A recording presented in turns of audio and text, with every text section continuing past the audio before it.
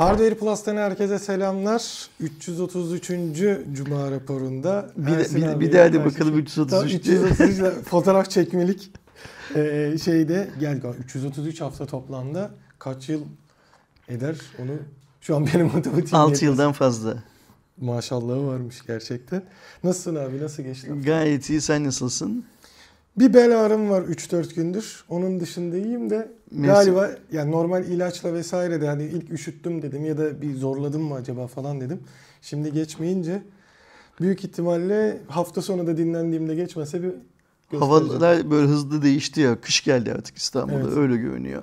Ondan olabilir mi sence? Ya be, be, şey umarım öyledir en azından farklı öyle. kötü bir şey çıkmaz. Uma, umalım ki öyle olsun. Aynen. Belki de büyüyorsundur Erdoğan o yüzden Tabii. de böyle bir şey vardır. Ee, tatsız bir hafta. ee, hafta geçen cumadan bu cumaya yine tatsız olaylar. Zaten şöyle bir şey var. Yani bazen gerçekten merak ediyorum. Dünya üzerinde bu kadar çok olumsuz olayın peş peşe vuku bulduğu başka bir coğrafya var mı acaba? Ve eğer varsa o coğrafyadaki insanların e, durumu bizden daha mı kötü? E, çok şaşırıyorum. Mesela yani. bu haftanın bence en önemli olayı depremdi. Gördü, yani Malatya'da işte açıklanana göre 5.9 büyüklüğünde bir deprem oldu. Bildiğim kadarıyla can kaybı yok. ee, yani böyle büyük yıkım bilmem ne falan gibi de yok bildiğim kadarıyla. Ama önemli olan şey şu. İşte 5.9 Türkiye standartlarına göre e, tehlikeli depremler arasında ve orada yaşayan insanlar yine cep telefonunu bile konuşamadıklarını, evet. internet bağlantılarının kesildiğini söylüyorlar. Bu e, Mobil Telekomünikasyon Operatörlüğü Derneği diye bir dernek var. Yani üç büyük operatörün başını çektiği diyebiliriz. Onlar da diyorlar ki bölgede bizden kaynaklı bir şey olmadı. E, kesinti olmadı. E, şimdi işte bilmiyorum yani şimdi dernek kesintinin kendi üyelerinden kaynaklı olmadığını biliyorsa nereden kaynaklı olduğunu da bilmesi lazım, söylemesi lazım. Ya da oradaki vatandaşın yalan söylüyor olması lazım. Ya da oradaki vatandaş telefonla konuşabiliyorken, internete bağlanabiliyorken telefonla konuşamadığını, internete bağlanamadığını zannediyor olması lazım gibi bir hikaye var. Şimdi şey olmadığı için, can kaybı olmadığı için tabii ki e, çok büyük bir sorun değil bu şu an için. Ama Türkiye'nin başka başka noktalarındaki insanlar da bölgedeki yaşayan akrabalarını, tanıdıklarını arayıp o an için ulaşamadıklarını filan rapor ediyorlar. Yani sadece bölgede değil başka illerden de böyle şeyler var. Ve şu dönüyoruz dolaşıyoruz aynı yumağın içindeyiz. Hani e, deprem oluyor ve iletişim ama operatörler nedeniyle ama operatörlerin şeyi olmadan bir e, kabahati olmadan hı hı. kesilebiliyor. Evet. Vatandaşın beklediği şey ne? Kesilmesin istiyor vatandaş. Ve Çünkü parasını veriyor. Bir de çok artık gitgide yükselen bir şekilde. Gitgide yükselenden farklı bir de şöyle bir hikaye var. Şimdi vatandaş operatörlerin parasını veriyor. Operatörlerin parasından başka devleti de bu hizmeti kullandığı için gayet fazla bir vergi ödüyor. Evet. O yüzden vatandaş diyor ki ya tavuk mu yumurtadan çıktı, yumurta mı tavuktan çıktı beni çok fazla ilgilendirmiyor. Ben istiyorum ki deprem olduğunda abone şeylerle, diğer abonelerle olan iletişimim kesilmesin. Deprem olduğunda dünya ile olan iletişim kesilmesin. Yani nedir bu? Telefonla konuşabileyim, internete bağlanabileyim. Bunu istiyorlar. Bu isteklerinde de bence haklılar. Parasını ödediği hizmetin karşılığını evet. almaya çalışıyor. Ve şöyle bir hikaye var. Ee, şimdi ortaya çıkıyor ki ya da belki bu daha önce ortaya çıkmıştı. Ben yeni fark ediyorum ki Aydoğan. Bu neredeyse ikinci yılına gireceğimiz de büyük deprem sırasında e, orada hizmet veremeyen operatörler yıllık standart fiyatlı aboneliklerine fatura kesmeye devam etmişler. Yani hmm. şimdi senin telefonunda internet ve telefon yoksa, sinyalin yoksa zaten konuşamadığın için o dönemde atıyorum Hani ama bir gün ama 20 gün bilmiyoruz. Çünkü farklı köylerde bu süre çok değişti bölgede. Sen tabii ki şey yapamadın. E, faturanı arttıramadın konuşmadığın için. Ama mesela ben rutin bir anlaşma imzaladıysam operatörle yani rutin anlaşmadan kastım operatörle şöyle bir şey yaptıysak sözleşme yapsak şu kadar dakika bu kadar SMS bu kadar internet aylık bu kadar fiyatı dediysem operatörler bana fatura kesmeye devam etmişler Erdoğan. Evet. Ne kadar garip değil mi? Ve e, operatörler fatura kesmeye devam etmişler. Bu süreci de aboneler, vatandaşlar hiçbir koşulda faturalandırmamanın gerektiğini konusunda kendi haklılıklarını şey yapamamışlar, e, ispat edememişler. Çok garip mesela. Yani olan her zaman şeyi oluyor, vatandaşı oluyor. Telefonla konuşmadığın ayın bile parasını ödüyorsun. Ayrıca şöyle şeyler duydum, doğru olmadığına inanmak istiyorum. Mesela işte internet abonelikleri için de bu deprem bölgesinde yaşayan vatandaşlarımıza o ay fatura çıkartılmış galiba. Ya da yıkılan evlerdeki insanlara da şey denmiş sizin aboneliğinizi iptal ettiğiniz güne kadar faturalarınız charge edecektir tabii ki filan denmiş. Hmm. Yani ev yok ortada, bina yıkılmış. Sen, Sen canının derdindesin ama bir aboneliğin var ya. O aboneliği iptal etmediğin için. Ha, zaten biz şey de yaptık diyor. Şu kadar şey tanımladık size o sırada. Çünkü hepsi açıklamıştı işte bölgedeki insanları. Mobilden bahsetmiyorum ben. Evdeki internetten ha, evde. bahsediyorum. Tamam. Yani e, karasal internetinden, Anladım. fiberinden, EDS'inden, kablo internetten bahsediyorum. Senin binan yıkılmış, canının derdindesin. Ananı, babanı, çoluğunu, çocuğunun derdindesin. İşte ama e, ilk önce o faturalar charge ediliyormuş. Sen ondan sonra başvuruyormuşsun, itiraz ediyormuşsun bilmem ne filan filan. Yani insanları öyle bir dert yumağının içine sokuyoruz ki ülke olarak.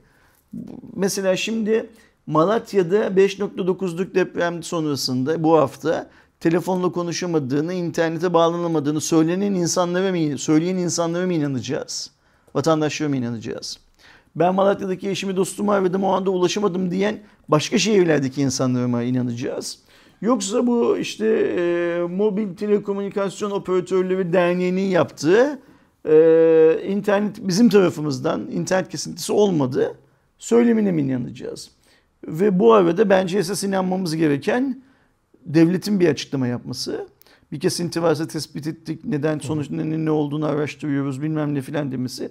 Ama yetkililer her zaman olduğu gibi o konuda da herhangi bir açıklama evet, yapmıyorlar. Birazcık klasik işin yani şey olarak baktığında. Ve böyle biraz iş şeyde ne derler zaman içinde kendi kendine çözülsün istiyorlar.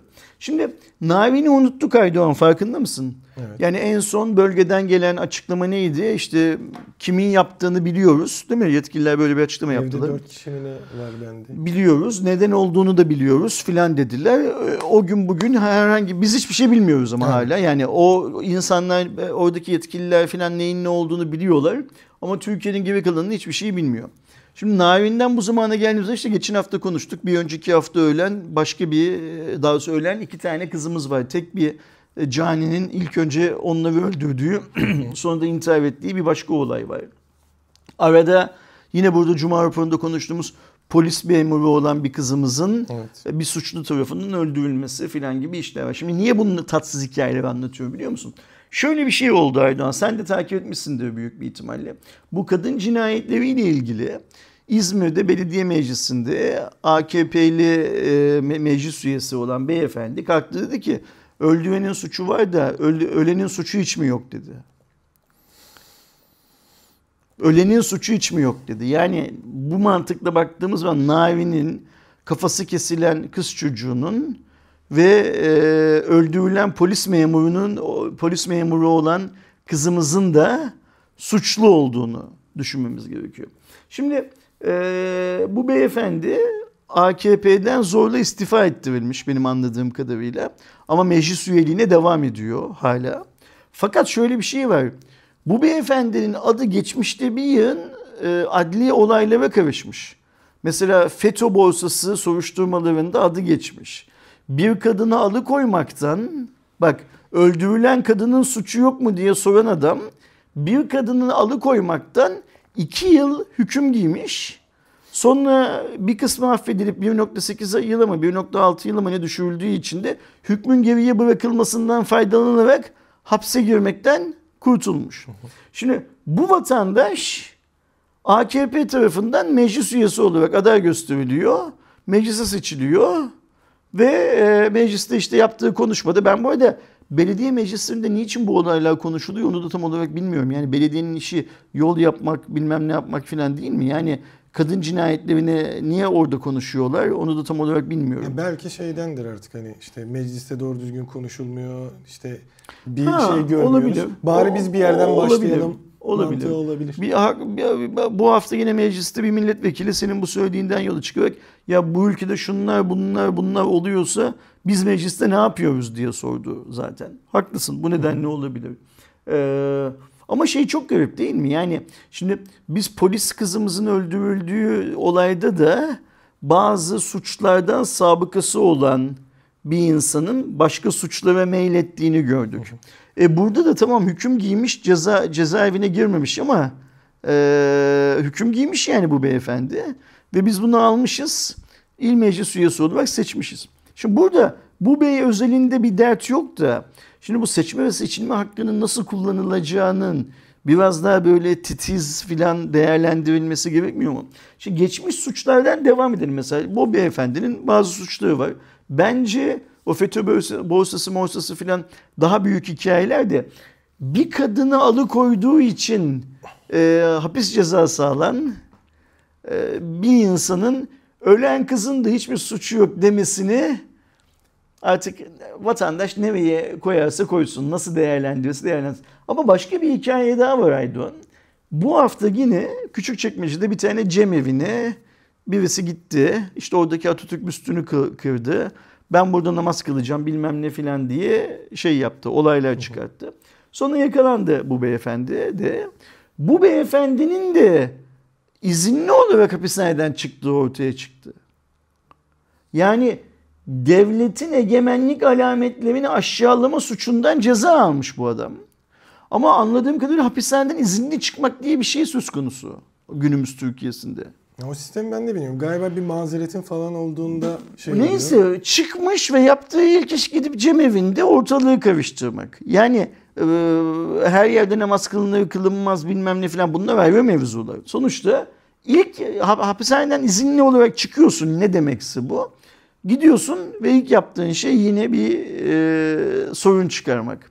E, bunu niçin söylüyorum? E, bu işte polis memurunu öldürenin sabıka silsilesini, bu arkadaşların geçmişte neler yaptıklarını falan unutmamak lazım. Şimdi bana öyle geliyor ki Aydoğan bunlar bize unutturulmaya çalışılıyor.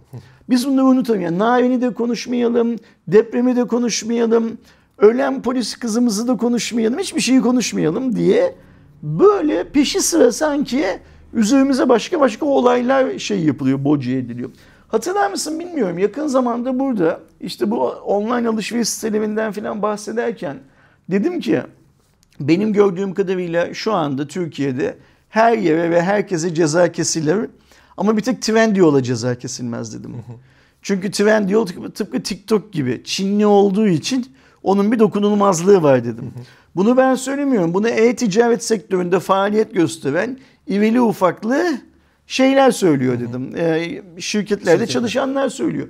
Hatta sektörde Trendyol yasası diye bir şeylerden bahsediliyor. Neydi bu Trendyol yasası diye sorduğumda dediler ki herhangi bir basın açıklaması yani bir Trendyol yöneticisinin bir gazeteciyle yaptığı herhangi bir konuşmada ya şu şöyle olsa daha iyi olur dedikleri her şey bir süre sonra Türkiye'de yasalaşıyor dediler bana. Hmm, anladım. Daha orada yani bunun şey. tüm sektör için, tüm e-ticaret sektörü için iyi olup olmadığına bakılmıyor.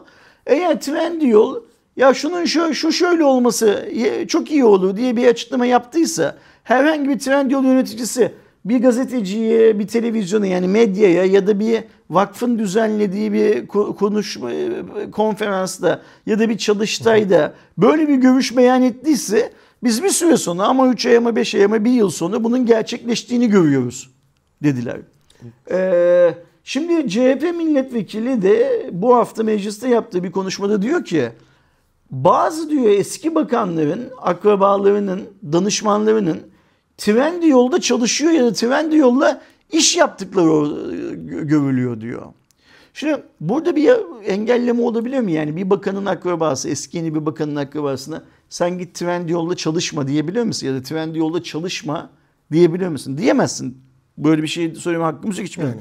Ama Bu milletvekili diyor ki e, aynı zamanda yeni yapılan bazı düzenlemeyle diyor başta Trendyol olmak üzere Trendyol formundaki yabancı sermayeli e-ticaret sitelerinin çok büyük orandaki vergileri affediliyor diyor.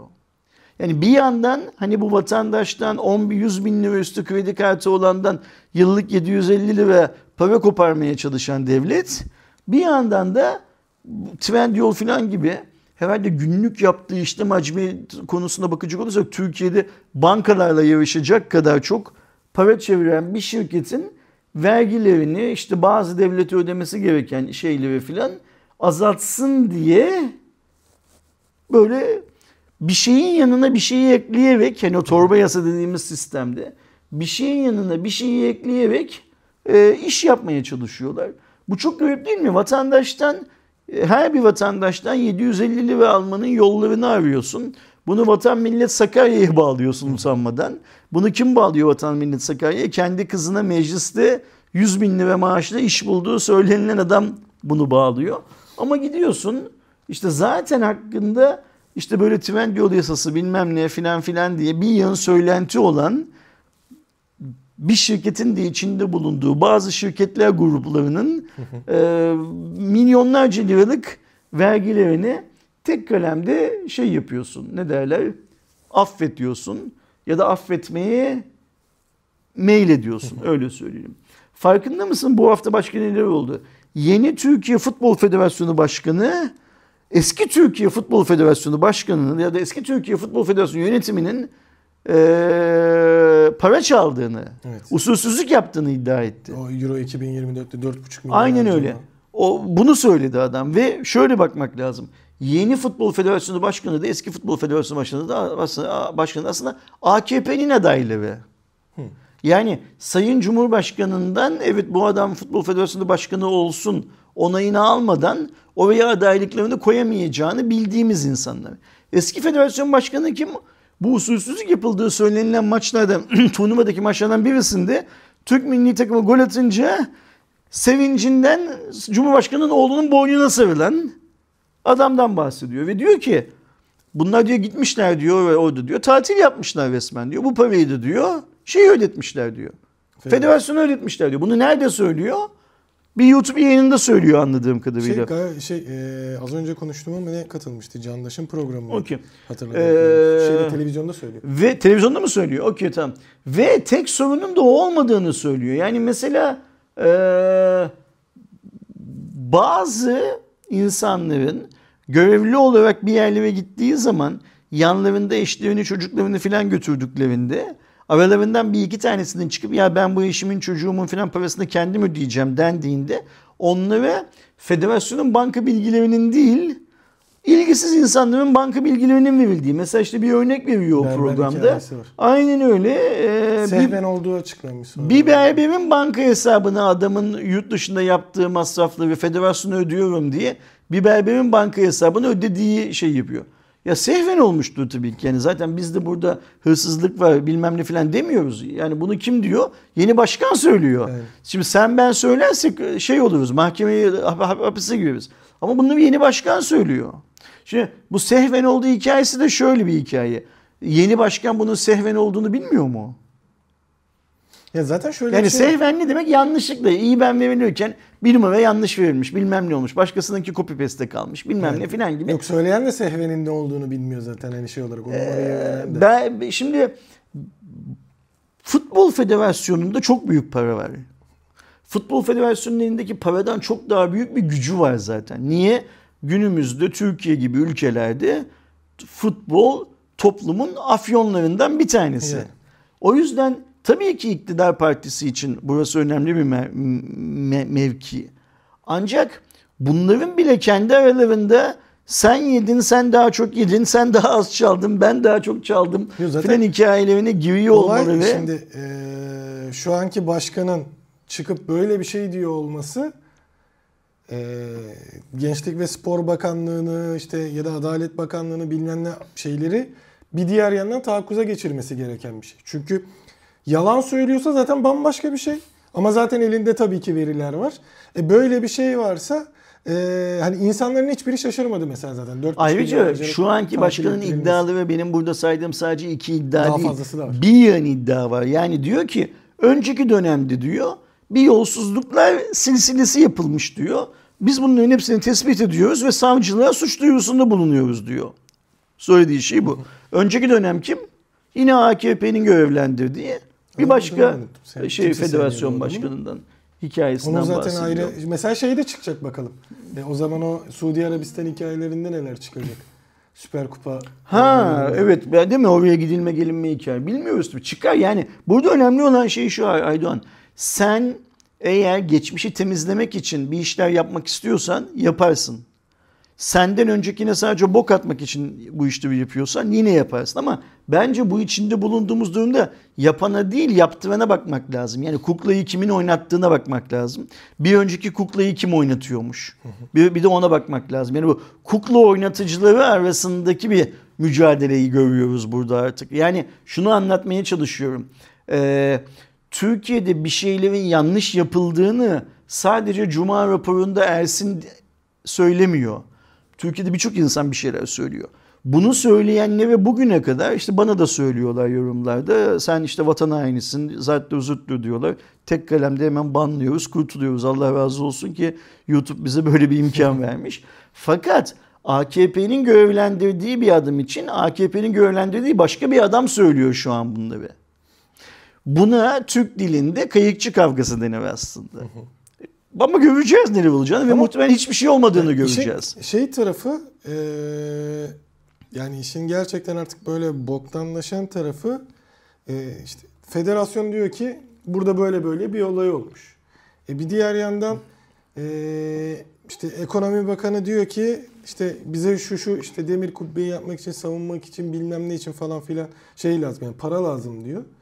E bir diğer yandan e, işte dediğin gibi mesela Malatya'da deprem oldu. Şükür ki hani büyük bir problem yaşanmadı ama en son yaşadığımız e, büyük depremde işte şu kadar ev yapılacak, şöyle yapılacak, böyle destek Nerede yapılacak onlar? yaptı. Nerede yapıldı? Ve işte e, sonra Cumhurbaşkanı çıkıyor bu kadar işte cinayet olayları falan filan kadına şiddeti olduğunda şöyle şöyle yapacağız diyor. Bunların önlemini almalıyız diyor. Ya düşünüyorum yani yakın zamanda bir yönetim değişti de eskiye Bunların hepsinin şey. yapılmasını Aydoğan'dan bekliyoruz. Aydoğan yapacak bunların yani hepsini. çünkü e, zaten 2002 yılında AK Parti'nin hükümete getirilmesindeki olay Çok ondan haklısın. önceki ekonomik buhrandı. Çok haklısın. Ve düzelttiler de hani baktığında o zaman bir toparlama vardı şey vardı. Hani benim çok küçüklüğüme denk geliyor. İlkokul çağlarıma denk geliyor ama hani ben ilkokulda bile en azından kantine gittiğimde Oradaki şey yapalım şu nasıl düzelttiler? Bugünleri satarak düzelttiler. Yani Ha, öyle bir şey de deniyor Yani tabii ki. Ben Şimdi ekonomiyle burada önemli olan şey şu Aydan. Ekonomiyi ekonomiyi falan boş ver. Bu söylenilen şeyleri kim yapacak? Senle ben yapmayacağız. Ülkeyi yönetenler yapacaklar. Ülkeyi Tabii. yönetenin de hangi partiden olduğunun çok fazla bir önemi yok. Bu adamlar yaklaşık 7-8 yıldan beri bir şeyler yapmaktan bahsediyorlar. Ve yapmaktan bahsettikleri şeyleri yapmıyorlar. Ya bir de şey var hani işte bir sıkıntı olur derler ki mesela "Ha, ben derim ki mesela ben adayım çünkü Ersin şu konuda yanlış yaptı. Hani böyle böyle bunu toparlayacağız. E baktığında süreçte aynı insanlar dönüp duruyor zaten. Hani, hani şeyi e, Şu şey lafı çok doğru biliyor musun? Burada yaşamıyor olsak aslında dışarıdan izlemesi çok keyifli Evet, bir evet, ülkeyiz. kesinlikle. yani hani, ama ne yazık ki burada yaşıyoruz. Şimdi bir şeye daha değineceğim. Sonra Cuma raporu konularına gelelim. E, Fernas diye bir madencilik şirketi var. Haberdar mısın? Yani- Bu şirketin sahibi bir AK- AKP'li milletvekili. Ve bu şirketin işçileri günlerden beri eylem yapıyorlar. Ankara'da açlık grevindeydiler.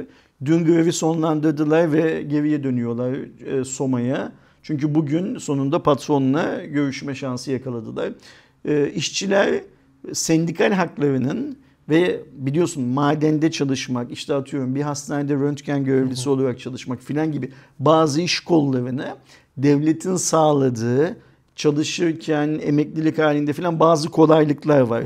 Ve bu insanların eee sağlıklarının, yaşam haklarının garantiye alınması için oluşturulması gereken bazı iş ortamları var. Yani arkadaşlarımız maden görmemişlerdir ama herkes hayatında bir kere röntgen çektirmeye gitmiştir. Mesela röntgen, röntgen mütehassısları senin röntgen çekildiğin yerde durmazlar ışına maruz kalmamak için. Onlar arkaya geçerler ve arada kurşundan ve başka hmm, ne derler e, röntgen ışınlarını pasifize edici malzemelerden oluşmuş bir kabinde kalırsın sen. Işıma sadece içeride gerçekleşiyor. Bu sadece röntgen değil işte röntgen mütehassıslığının yaptığı tüm işlemlerde böyle. Oradaki amaç nedir? Sağlık personelini işini yaparken bu tehlikeden uzak tutmak. Zaten belli oranda maruz kalıyorlar. O Ve o, o süre yüzünden de işte emeklilikleri onların daha hızlı geliyor. Çalışma saatleri daha azdır bildiğim kadarıyla. Çok bilgim yok ama bu kadarının doğru olduğunu biliyorum.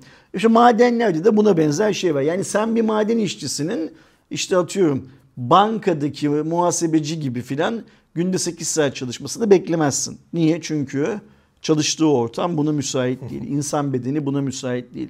İşte e, onun para kazanma, hayatını e, yaşam hakkını elinden almayacak e, önlemlerin alınması filan konusunda maden şirketlerinin de bazı yükümlülükleri var. Şimdi bu Fernas çalışanları ne diyorlardı? İşte sendika hakkımız diyorlardı. Yok.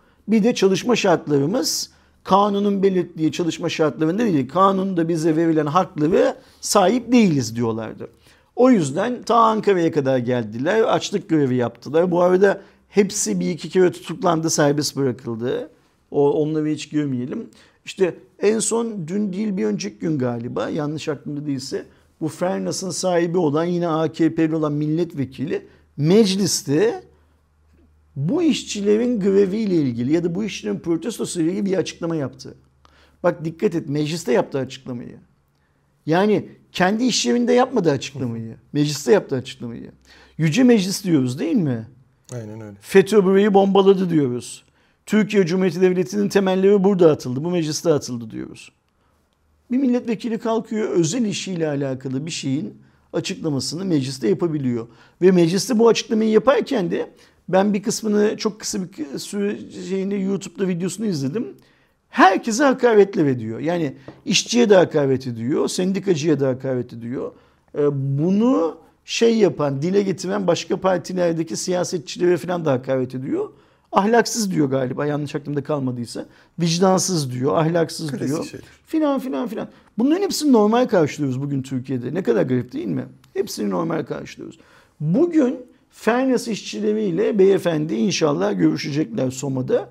Ve umalım ki bu madenci kardeşlerimizin yasal hakları kendilerine verilsin. Umarım. Bu dostlar, bu arkadaşlar bir daha memleketlerinden kalkıp Ankara'ya kadar yürümek, yolda polis zulmü, zulmünden, Ankara'da polis zulmünden çekmek zorunda kalmasın. Öyle ya bu insanların en doğal hakkı kendi yasal haklarını savunmak ama polis Ankara'da eylem yaptıkları süre boyunca bunların karaya ulaştıkları sürede sürekli onları pasifize etmek için tutukladı, gözaltına aldı, önlerine barikat kurdu. Mesela en son bu hafta içinde yine bu yanlış hatırlamıyorum ben Ankara'yı çok bilmiyorum arkadaşlarım kusura bakmasınlar çok fazla zaman geçirmedi Ankara'da.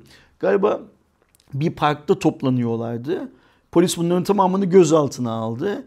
Tamamı en az bir geceyi şeylerinin alınması için, ifadelerin alınmasını beklemek için nezarette geçirdiler. Salı verildiler. Çünkü ortada bir suç yok. Sadece ifadeleri alındı. Savcılığa gönderildi ve savcılık burada yapacak bir işlem yok deyip salı verilmelerine karar verdi. Parka gittiklerinde polisin park girişine barikat kurduğunu ve bunları parka sokmadığına şahit oldular mesela. Bu bile bir polis zulmüdür. Tabii. Yani sen bir parkı kapatıyorsun, Hazır onları çıkartmışken kapı. Bu ne de, ne biliyorsun? Boğaziçi Üniversitesi'nde yapılan hikayeyle aynı. Yani Boğaziçi Üniversitesi'nin kapısına takılan asma kilitle aynı hikaye aslında. O yüzden inşallah bugün, yarın, pazartesi, salı filan bir şekilde anlaştıklarını patronun mecliste, yüce mecliste e, kendi işçisine hakaret eden patronun işçisine hakkını verdiğini haberlerde okuruz. İyi haber alırız inşallah. Çünkü iyi haberi muhtaç zaten. Evet, Baksana Can kaç dakika oldu başlayalı? 29. Yarım saattir saydığımız şeyler geçen cumadan bu cumaya bu ülkede olanların buzdağının bile tepesi belki. Hani hep şey der ya bu buzdağının görünen yüzü derler. Biz o görünen yüzünün biri belki tepesindeki küçücük bir yeri konuşuyoruz. Aynen öyle. Tamamını konuşamıyoruz, konuşmuyoruz, bilmiyoruz, umursamıyoruz, görmüyoruz. Yani nedir bu bilmiyoruz, umursamıyoruz, gör Tam istenen kıvama geldik. Aynen öyle. Umursamaz kıvama geldik. Herkes kendi hayat mücadelesinde. Bak şöyle düşün Aydoğan. Ee, belgeselleri falan izliyor musun? Bu hani e, Hindistan'da filan maymunların çok olduğu bazı bölgeler var. İnsanlarla iç içe yaşadıkları. Orada mesela senin benim filan gibi turist olarak giden birisi maymunlar yesin diye ortaya böyle bir muz bırakıyor. Bir hevenk deniyor galiba ona.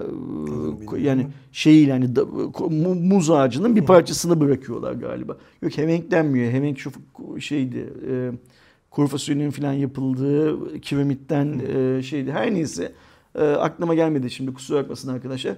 Orada maymunlar koparabildiklerini koparıp hemen kaçıp gidip bir yerlerde yiyip sonra tekrar geriye gelmenin peşinde oluyorlar. Yani hiçbir maymunun orada bir düzen oluşturalım, bunu ortaklaşa paylaşalım, bilmem ne filan gibi bir derdi yok. Ana bile çocuğunu o kapış zamanında görmüyor. Çünkü herkesin derdi alıp kaçmak. Biz de o aşamaya getirildik. Artık herkes kendi açlığını, kendi dertlerini günlük şey yapabilsin diye, kotarabilsin diye uğraşıyor.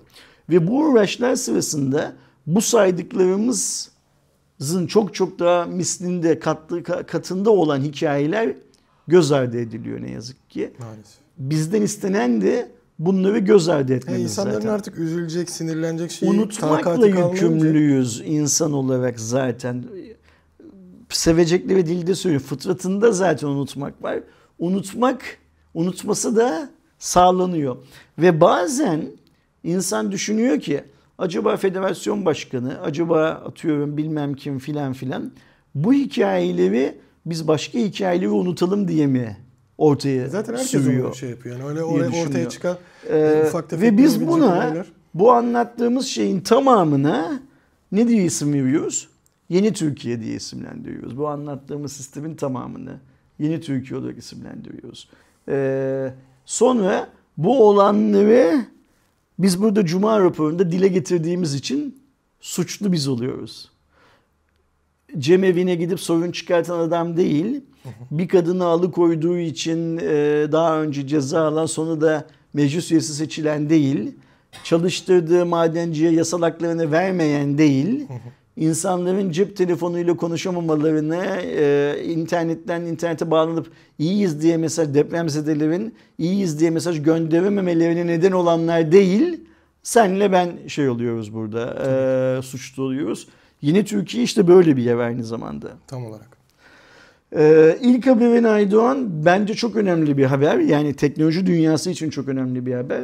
Intel ve AMD'nin x86 için yani x86 platformunun için güçlerini birleştirme haberi. Evet aslında e, bildiğiniz gibi bu işlemci dünyasında son dönemde ARM'ın ciddi oranda bir yükselişini görüyoruz. Zaten birazdan farklı farklı noktalarda bahsedeceğiz. Mobil tarafta zaten artık şey e, tekel konumunda gibi. Bir diğer yandan masaüstü ve bir e, laptop mobil e, işlemciler tarafında x86 platformuna e, rakip olarak çok ciddi güç kazanmaya başladı e, ARM kısmı.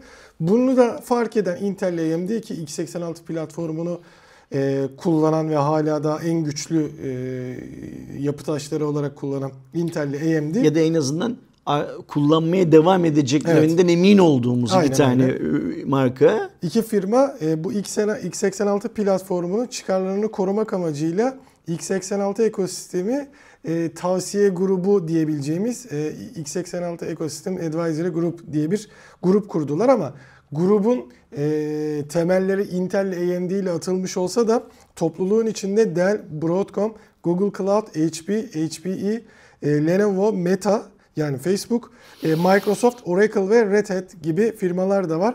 Tim Sweeney ile Linus Torvalds da e, bu şeye isim olarak dahiller. Amaçları aslında... Linus da Linux'un mucidi mi demek lazım? Aynen ilk aslında. kodları yazan, ilk çekirdeği yazan kişisi diye. Doğru. Ee, bu açıdan baktığımızda da aslında işte o ARM'ın yükselişine karşı bir e, bu işte yer alan ve bunu kullanan aynı zamanda bununla alakalı geliştirmeler yapan firmaların ortak bir çatı altında olması. Çünkü ARM tarafında hani işte Qualcomm ARM'ı kullanıyor, işte Apple ARM'ı kullanıyor birçok noktada vesaire durumunda.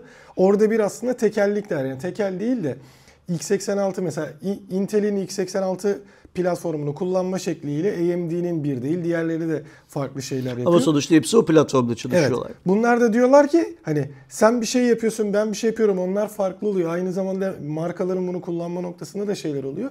Gelin bunu ortak bir çatı altında yapalım. Ve daha önemlisi şöyle bir şey var benim gördüğüm kadarıyla.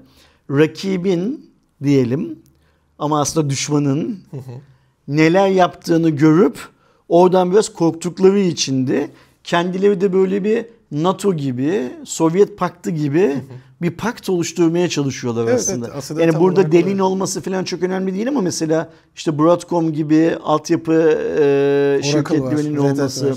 Aynen öyle yani işletim sistemlerinin işin içinde olması bu çok önemli bir şeye baktığımızda. Ve bir yandan da şöyle bir şey var.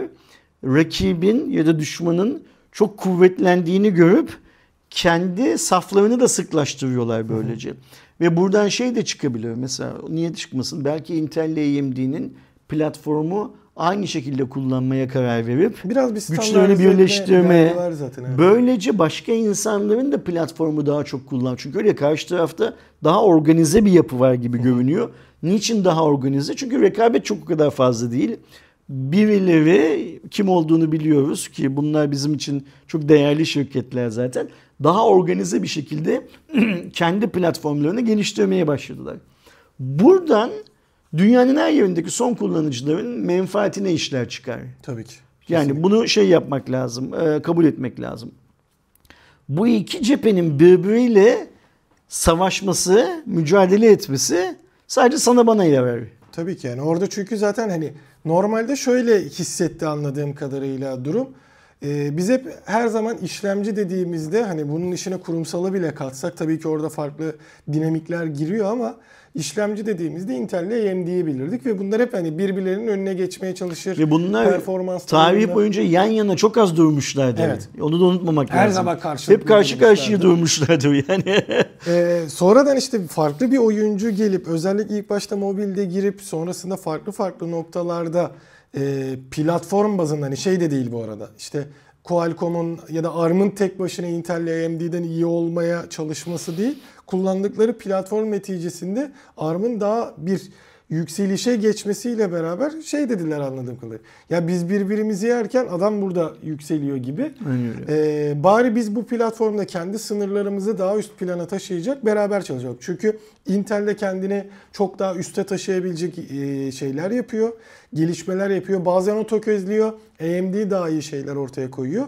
E şimdi dünya üzerindeki en büyük firmalardan ikisi aynı platform için ortak akılla çalışmaya başlarsa İş o zaman e, hem bütçe hem ARGE çalışması açısından da çok farklı bir yere gidebilir. Onu deneyecekler biraz. Şimdi bir, bir sonraki habere geçmeden önce şunu söyleyeyim. Biz burada geçenlerde seninle birlikte e, Qualcomm'un Intel'i satın almak için teklifte bulunduğunu konuştuk. E, ben dedim ki ya bu çok mantıklı bir hikaye değil. Yani Intel bir dev. Qualcomm küçük bir şirket değil ama onun kadar büyük bir dev değil. E, nasıl böyle bir satın alma olabilir? Yani büyük küçüğü satın alıyor. Küçük büyüğünü çünkü Intel dediğimiz şirket sadece işte bizim bilgisayarlarda kullandığımız işlemci değil. Intel dediğimiz şirket Wi-Fi teknolojisine de sahip olan şirket. Bluetooth teknolojisini de destekleyen şirket.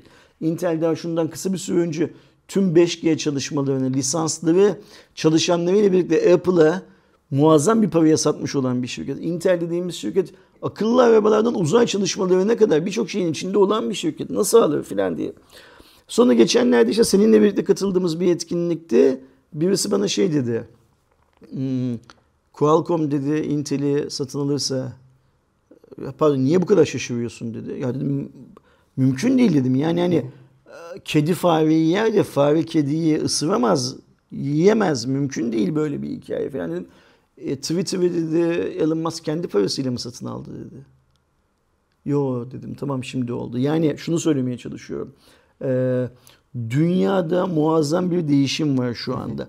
Bu değişim yaşadığımız ortamdan kaynaklı. Mesela bak bu kadar pandemi sonrası pandemi sürecinde ortaya çıkan çip krizi nedeniyle açılan yarı iletken fabrikalarının şu anda biliyorsun çok küçük bir kısmı imalata geçti. Büyük bir kısmı yapılıyor. bu fabrikalar yapıldıktan sonra bu fabrikaların ne üreteceği tartışılıyor. Çünkü dünyada baktığımız zaman bu kadar çok yarı iletkene ihtiyaç yok şu anda. Yani öyle ya Amerika'da bilmem kaç tane fabrika inşa ediliyor. Avrupa'da inşa ediliyor. Dünyanın başka yerlerinde inşa evet, ediliyor. Hala daha konuşuluyor. TSMC'nin yine bir planı var. Galiba. Ve bunlar çok high-end olanlar. O kadar high-end olmayan daha büyük nanometrelerde yani 15 nanometre, 20 nanometre üretim yapacak 90. olan yüzlerce fabrika bu konuştuklarımızın yanında imalathane gibi görülecek olan yüzlerce fabrika dünyanın yüzlerce farklı yerinde yapılıyor. Ee, bu kadar yarı iletkene ihtiyaç var mı diye konuşuluyor mesela bir yandan da. Ya, ihtiyaç var mıdan kastım şu. Yapay zeka ile filan birlikte evet ihtiyaç var da e, bu kadar fabrikanın sadece cep telefonu için, sadece laptoplar için işlemci üretmesi mümkün değil. Yani e, o cenahta da, o cenah dediğim ne bu? Yarı iletken, mikroçip cenahında da yani biz neyi biliyoruz? İşte Nvidia'yı, Intel'i, AMD'yi, Qualcomm'u, ARM'ı, Mediatek'i bilmem ne filan biliyoruz. İşte Apple'ın kendi tasarımını yaptığı için Apple'ı sayabiliriz bu, bu işin içinde. TSMC. Samsung'u sayarız üretici olarak filan ama bu hikaye yani hani şu toplam saydığımız markaların kümesinin çok radikal bir şekilde değişmesi gerektiğini söylüyor insanlar.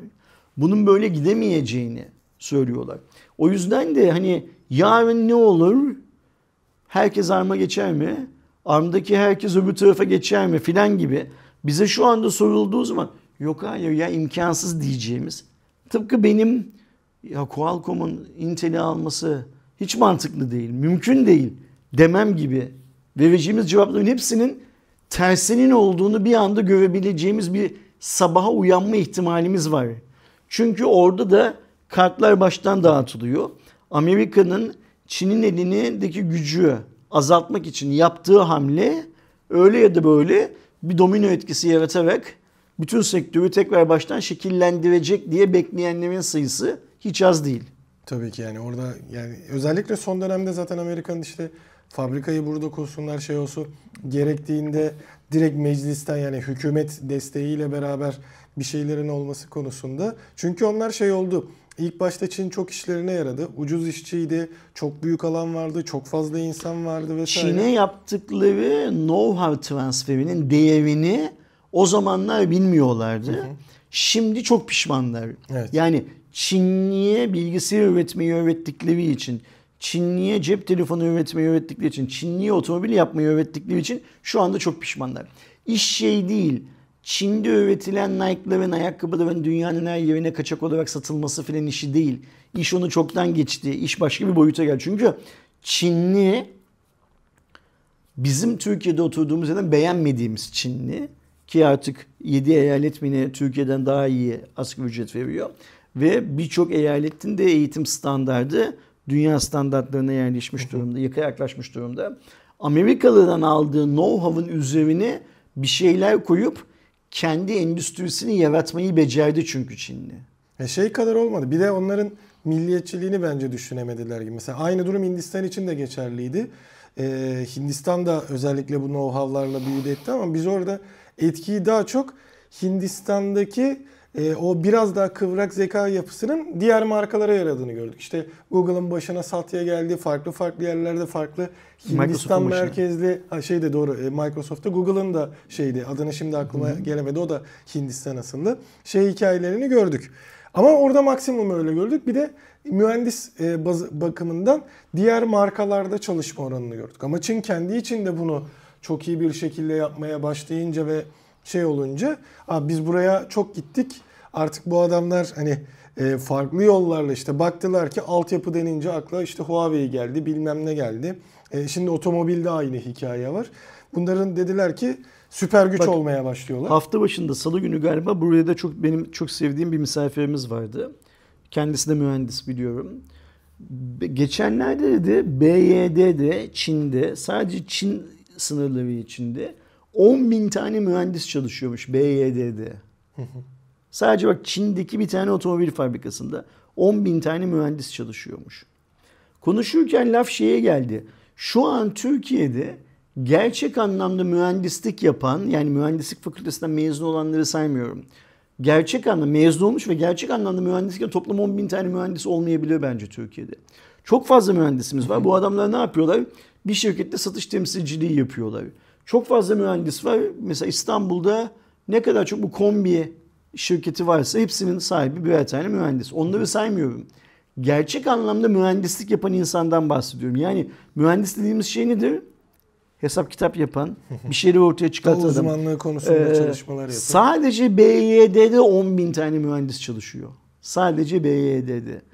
Ve biz Çin'e buradan baktığımız zaman senle ben mesleğimiz gibi sadece teknoloji şirketleri işte şimdi son zamanlarda da sadece elektrikli otomobil şirketleri olarak görüyoruz ama Çin'de kimya şirketinden madencilik şirketine kadar makine üretenlerden bilmem ne kadar 100 bin tane sektör var. Bunun sadece BYD'sinde 10 Zaten bin şeyde tane mühendis. geçti. Direkt şey olarak düşünsünler. Hangi sektörde çalışıyorsanız, hangi sektörde e, çalışmak için bir eğitim görüyorsanız üniversitede vesaire şeye bakın yani.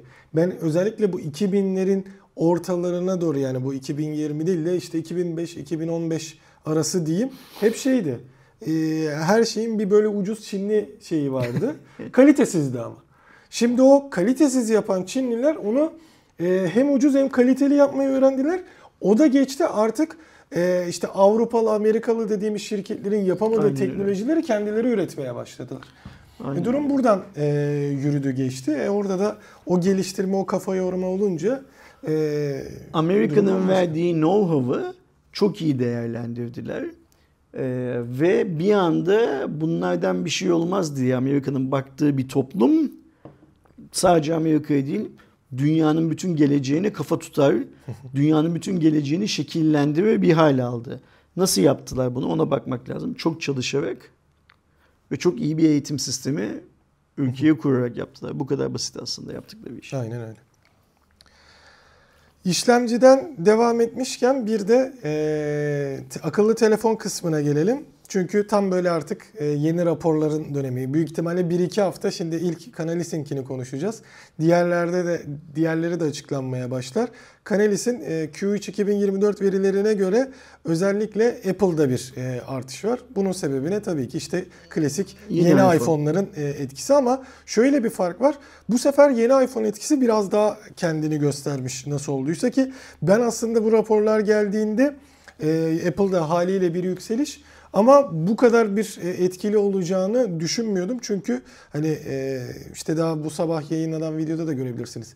Apple Intelligence yeteneği dışında bir şey yok aslında. Büyük bir e, ikna edici yani yenilik sen yok. Yani sen yeni iPhone'un bu kadar satmayacağını varsayarken raporlar diyor ki yeni iPhone Tabii burada, bir önceki iPhone'a göre daha çok satmış Aslında diyor değil Apple mi? pazar payını arttırmış. Yani yeni iPhone'un da sadece olmayabilir. Şey etkisi de olabilir. 16'yı görüp 15'i alanlar da olabilir gibi bir şey de olabilir ama önceki yılda göre %5 daha fazla bir şey arttırarak e, küresel telefon satışları 316 milyona çıkmış. Yani dünya genelinde de bir telefon e, alışında e, artış olduğunu görüyoruz. Ve genel anlamda insanlar Android'de daha az alırken iOS tarafında evet, daha çok Apple telefon tercih burada artılmış ki e, Samsung 3. çeyrekte %18 pazar payına e, ulaşarak yine liderliğe giderken e, aynı dönemde %21'di mesela şey Samsung yani teknik olarak %21'den %18'e düşüp liderliğini koruyor. Apple ise %18 e, e, pazar payıyla yani aslında benzer pazar paylarına sahip ama işte devamında ya da o milyon satışlara baktığımızda hemen altında kendine e, şey oluyor. Ve satış hacmi olarak da 56 milyon satış yaparak en büyük hacmine uğraştı şimdiye kadar ki bu gerçekten önemli.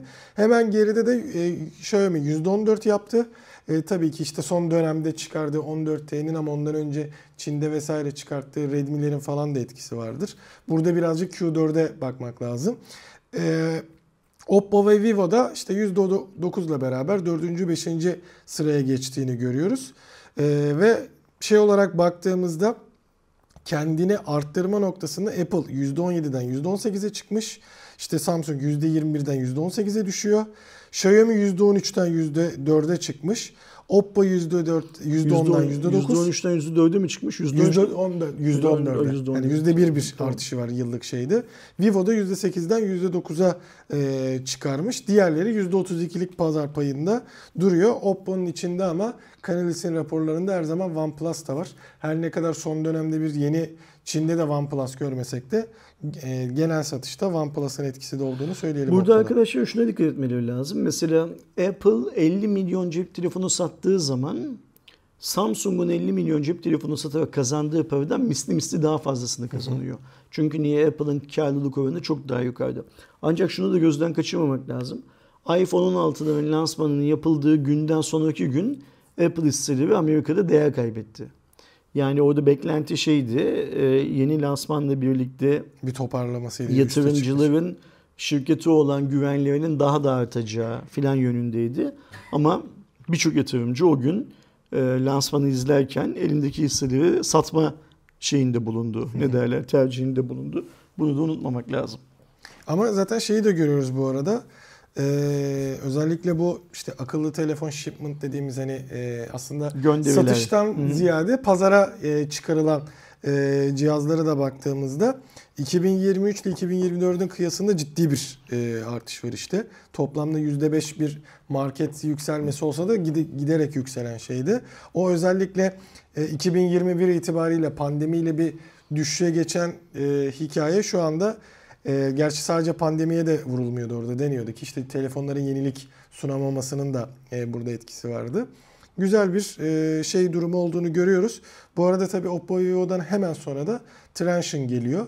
E, o da aslında Oppo Vivo'yu da birlikte BBK hı hı. şey dersek e, burada bir Apple ve Samsung'un ardından yani bir işte Koreli ve Amerikalı firmanın ardından yine Çinlilerin yükselişi bir artışa geçtiğini görürüz. Çünkü artışta Samsung düşerken evet Apple yükseldi diyoruz ama işte dediğimiz gibi Oppo, Vivo'yu birlikte düşünürsek onlarda bir artış var.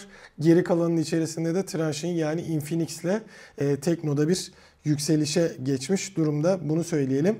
E, Apple e, bir biliyorsunuz Ekim ayında yeni e, laptoplar ve iPad'lerin vesaire tanıtılmasını bekliyoruz Mac tarafında.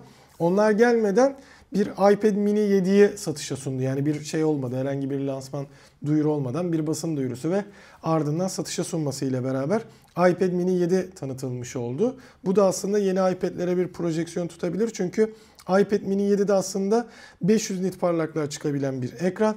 A17 Pro işlemciyi görüyoruz. Yani iPhone 15 Pro ve Pro Max'in işlemcisi burada e, Mini 7 e, eklenmiş. Buradan hareketle zaten Apple Intelligence desteği de geliyor e, iPad Mini'de.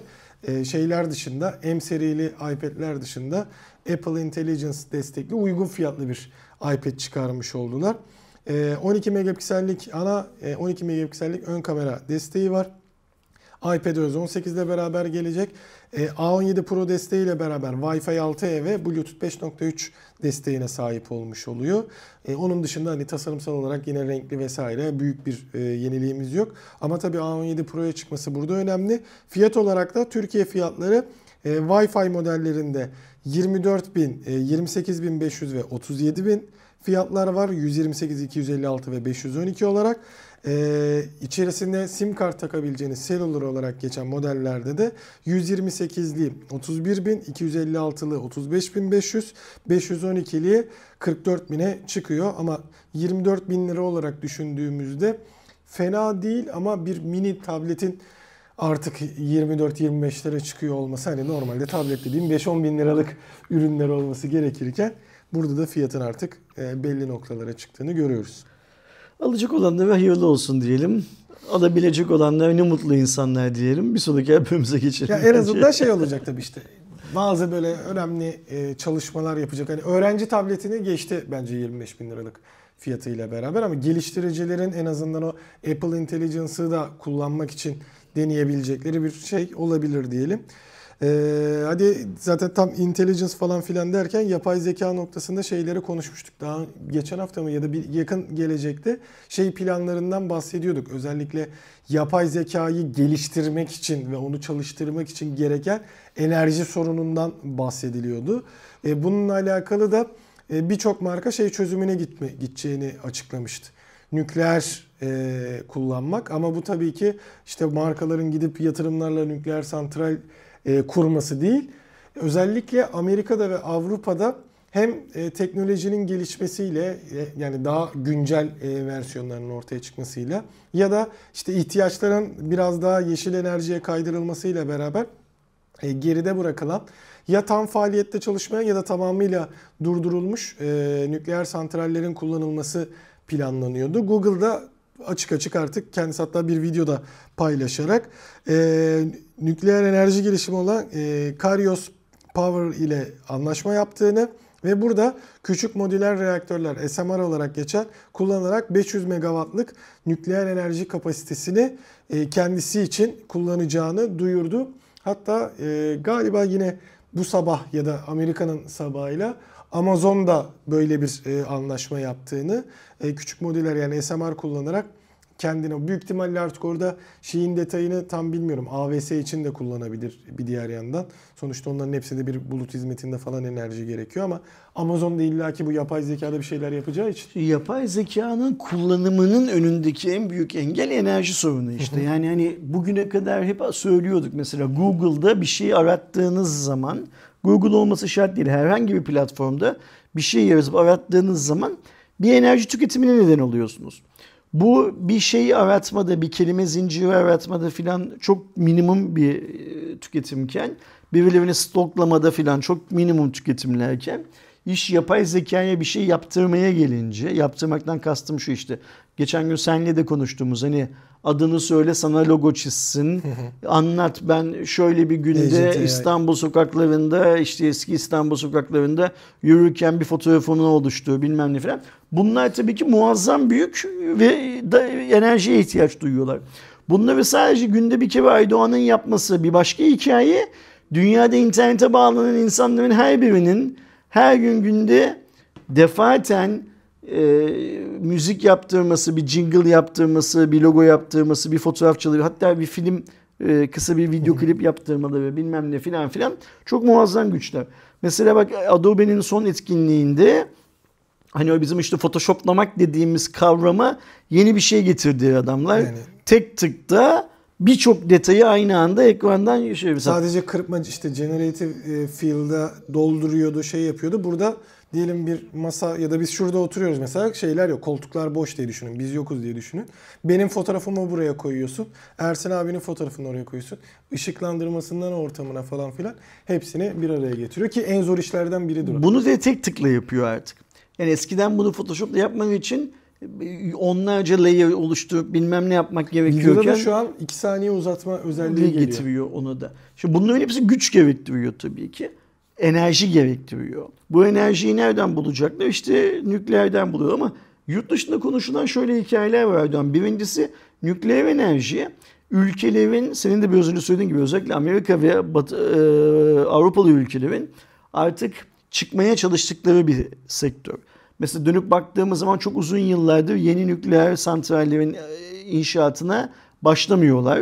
Hatta işte bir kısmını özellikle mesela Alman hükümeti biliyorsun nükleer enerji santrallerinin bir kullanım ömrü var. O kullanım ömründen daha önce nasıl kapatırız filan bakıyorlar. Deniyor ki bu işte yapay zeka ile birlikte artacak olan enerji talebinin e, fosil yakıtlardan zaten sağlanması mümkün değil. Fosil yakıtlardan sağlanmaya kalkarsa dünya 10. Dünya Savaşı'na kadar gider. E, o yüzden tabii ki nükleerden sağlanacak. Ancak bu da dünyanın bazı geri kalmış bölgelerinde daha fazla ve yeni nükleer enerji santrallerinin temellerinin atılmasına neden olacak. Evet. Yani dünyada bir konsensüs olarak nükleer enerjinin azaltılması gerektiği, bunun risklerinin elde edilen enerjiden çok daha fazla olduğu, dünyanın geleceğine olan verdiği zararın sunduğu şeyden, konfordan daha fazla olduğu falan konuşulurken bir yandan da mecburen ve mecburiyetten e, nükleer enerji santrallerinin tekrar sıfırdan açılmaya başlanabileceği söyleniyor. Nasıl olacağını göreceğiz. Ben tahmin ediyorum ki burada büyük para yani kapitalist sistemler yani büyük teknoloji şirketleri canları ne istiyorsa onu yapacaklar. Ya zaten yani dünyanın en ücra bir köşesindeki bir halkın radyasyon tehlikesi altında yaşamasını göz ardı edecekler ve bunu bize o senin biraz önce bahsettiğin yayınladıkları e, işte tanıtım videolarıyla şunlarla bunlarla anlatacakları şekere bulandırılmış hikayelerle bize bu acıyı yutturacaklar. Bu acı ilacı yutturacaklar. Kesin, çünkü zaten işin şey kısmı da var hani işte teknolojinin gelişmesi vesaire falan filan hikayesiyle yani insanlar şeyi de bazen unutuyorlar. İşte kendim mesela işte şey almak yerine nasıl almak yerine bulut hizmeti kullanayım bir şey yapayım falan filan kendi içinde elektriği vesaire şeyi harcayayım dediği noktada hani bulut dediğimiz işte bu yapay zeka dediğimiz e, sunucu dediğimiz hikayelerin hiçbirini gözle görmeyince şey değil de bunların hepsi fiziksel Varlar. çalışan. Yani senin e, laptopun tabletindeki işlemci değil de başka bir yerdeki yerin altındaki bilmem nerede özel sistemlerle havalandırma sistemleriyle falan filan kurulmuş bir sistemde başka bir işlemci çalışarak bunu yapıyor. Orada tabii ki çok daha güçlü, çok daha kümülatif çalıştıkları için senin bilgisayarınla yapacağın şeyde e, günler, aylar alacak işlemi onlar saniyeler içerisinde yapabiliyor. Ya da bu süper bilgisayar kuantum bir de sadece şey. sana değil aynı anda birçok insana hizmet veriyor. Yani sen işlem yapmadığında ortadaki güç başka bir işi, başka birisi için çalıştığında Ki, hani, daha ekonomik rakamları evet. yapılabiliyor. Şey, şimdi işte hemen işlemcilerin bilmem nelerinde işte yapay zeka destekli olmasıyla işte sen istemsizce de zaten o sistemleri kullanmaya başlayacaksın. Çünkü senin hayatını kolaylaştıracak birçok şeyde kendin yapabileceksin vesaire. Bunlar yaparken de işte enerji gereksinimi çok fazla artıyor. E bunu da karşılayabilmek için e, yeşil enerjiyle ve fosil yakıtla şu an için kısmen karşılanabilir. Ama özellikle fosille düşünürsek hani e, hem Ersin abinin dediği gibi savaşa vurur hem de e, yakın gelecek projeksiyonuna baktığımızda çünkü teknolojinin o gitgide artan e, hızlanan işlemcilerin şey olması verimlilik verimlilik desek de onun da bir sınıra takılacak olmasının sebebiyle çünkü şimdi diyoruz işte 3 nanometre büyük ihtimalle önümüzdeki sene 2 nanometreleri onları göreceğiz. E, Sıfır nanometre diye bir şey yok. Sıfır küsürlere inecek de onun altına eksiye inemeyeceğimize göre bir yerde tıkılacak ve e, burada işte gereksinimi artmaya devam ettikçe bir yerden şey lazım. O yüzden ben e, nükleere karşı olsam da e, belli bir yerden sonra o enerjiyi nasıl yani ya bu yapılan yeniliklerden vazgeçmek gerekecek. Ya nükleer işte yerine bu kadar şeyi söylemeye çalışıyorum. Gerekecek. Nasıl ikna edileceğiz? Seve seve mi? Kendimiz seve seve bence. Yani bu kolaylıkla Kendimiz beraber. ikna olacağız evet. öyle mi? Kendi kendimize. Zorla değil de artık biz talep ediyor olacağız yani. Ona dönecek gibi geliyor bu Sevin bizi diyeceğiz yani. Aynen öyle lazım diyeceğiz. Ki hadi e, işlemciler noktasında da e, Dimensity 9400 duyuruldu. Hatta şu sıralar Qualcomm'un da bu sene sonu e, etkinlik dönemi geldi. Yani 8 gen 8 eliti de resmi bir şekilde e, bugün yarın duyacağız. E, ama e, Dimensity 9400 e, çok başka bir seviyede çıktı ama bunu şey olarak demiyorum işte süper güçlü vesaire değil. Mediatek Dimensity'ye geçtiğinden beri ne yapmaya çalışıyorsa artık yaptığını net bir şekilde gösteren işlemci gibi duruyor. Baktığımızda TSMC'nin 3 nanometre sürecinden geçen ikinci nesil ama tabii ki geçen sene geçmişlerdi bu sisteme. 8 çekirdekli bir yapıda. Bir adet e, Cortex X925 var. 2 ee, MB'lık keşi bulunuyor. 3,63 GHz'e kadar çıkıyor. Geçen sene Prime çekirdek dediğimiz ana çekirdek olarak kullanılan Cortex X4 burada artık yüksek performans çekirdeği olarak karşımızda. 1 MB'lık L2 cache kullanıyor. 4 adet de A720 var. Yani yine geçtiğimiz dönemlerde yüksek performans çekirdeği olarak kullanılan. Burada düşük performans değil. Geçen seneden bu seneye zaten son 2 senedir e, Mediatek Dimension'ın üst seviyesinde enerji verimliliği çekirdeği diye Big Core sistemine geçmişti. Hepsi de performanslı çekirdek sistemine geçmişti. Bu da öyle. Bunda da 512 KB'lık cache var ama Baktığımızda %35 tekli çekirdek performans artışı, %28 çoklu çekirdek performans artışı. Buna rağmen %40 verimliliğe ulaşmış durumda. Bu gerçekten çok önemli. Grafik tarafında Immortalis G925 MC12 var. Oradaki 12. 12 çekirdeği bizlere gösteriyor. Burada da e, en yüksek performansta %41 artış. Işın e, izleme performansında %40 artış ki biliyorsunuz özellikle bu telefonlar 1-2 senedir şey derdi. Konsol kalitesi oyunculuğu, konsol kalitesi ışın izlemeyi, konsol kalitesini, grafik performansını sunabiliyoruz diyorlardı. Ee, şey paylaştığında, e, Mediatek bunu paylaştığında artık PC grade demeye başladı. Yani artık biz e, şey sınıfına atladık diyorlar. PC sınıfına. Ee, burada da %44 daha yüksek, daha iyi bir enerji verimliliği sağlıyor. Yani neredeyse %50 bir e, kümülatif artış sağlarken bir o kadar da enerji verimliliğini sağlayabilmesi önemliydi. Ama Mediatek'in sıkıntılarından biri bir diğer yandan baktığımızda e, enerji verimliliğinden ziyade onu biraz toparlamışlardı. Stabilite konusuydu. Onu da çözmüşler. En azından Çin'de yapılan testlerde Çin'deki böyle bir iki şey var. E, takip edenler biliyordur. E, özellikle detaylı bir şekilde test yapan kişilerde oranlarda A18 e, Pro'yu da geçtiklerini görüyoruz. Yani biz hep orada en azından belli noktalarda Apple'ın üst seviyede olduğunu görürdük. E, Snapdragon'u da şeyi de geçiyor. Eğer 8 Elite bu noktada çok büyük bir sıçrama yapamazsa ilk defa bir e, yıllık dönemde Dimensity'nin net bir şekilde tepede olduğunu görebiliriz. Bu açıdan önemli ki yapay zeka kısmında da 890 NPU'sunu kullanıyor.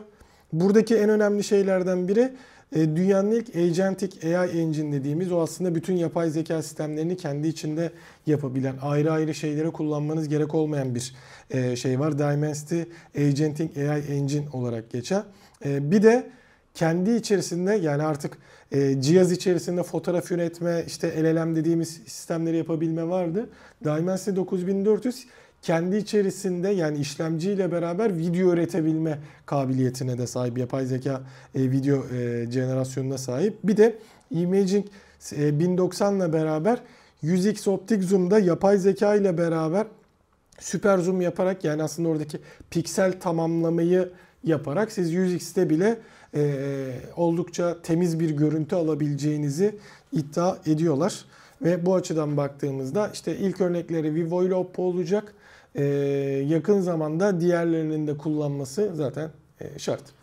Şimdi Dimensity 9400'e baktığımız zaman şunu görüyoruz. Yapay zeka özelliklerini ayrı tutarsak eğer bugüne kadar mobil işlemcilerde bir önceki jenerasyona nazaran kağıt üzerindeki en yüksek artış oranlarının duyurulduğunu Maksimum görüyoruz. Maksimum %30 görürdük biz evet. İkincisi bu oranlar o kadar yüksek ki işte senin bahsettiğin Çin'deki testlere baktığımız zaman bile bu artış oranlarından %15, %20 kayıpla gerçekleşse bile her anlamda rekor kırdıklarını görüyoruz. Ve çok rahat şunu söyleyebiliyor artık teknoloji dünyası bugün için yani bugün günlerden ne 18'i mi ayın? Öyle olma, evet. 18. O 18 Ekim itibariyle 18 Ekim 2024 itibariyle Dimensity 9400 en güçlü ve en verimli mobil işlemci. Bu tarihe böyle yazılacak. Şimdi Elite'i bekliyoruz. Elit bakalım kağıt üzerinde bu değerleri aşabilecek mi?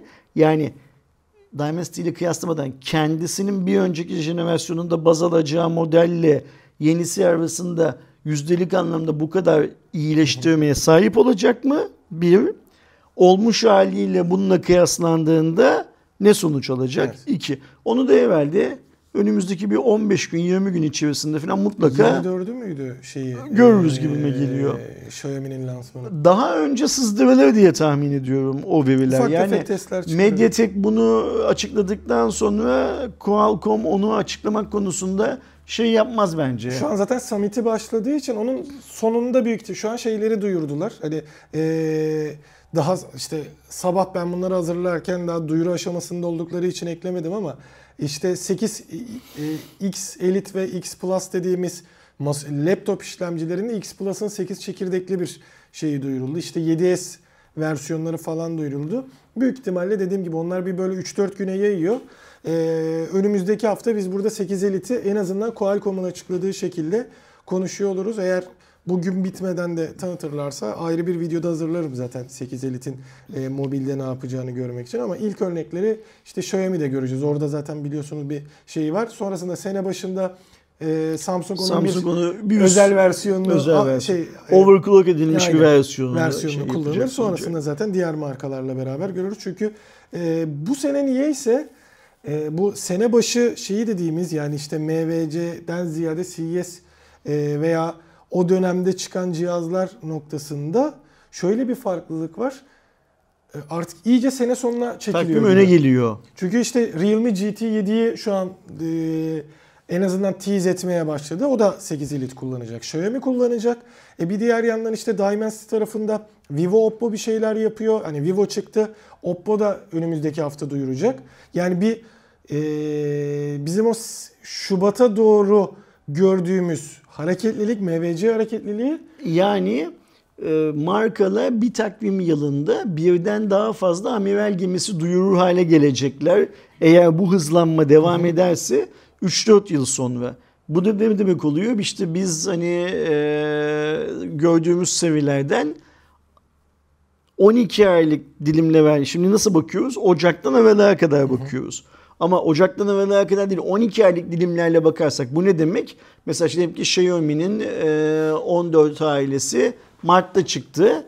Mart'tan Mart'a baktığımız zaman hem 14'ü hem 15'i ya da işte atıyorum hem 18'i hem 19'u aynı 12 aylık periyotta görüyor olacağız.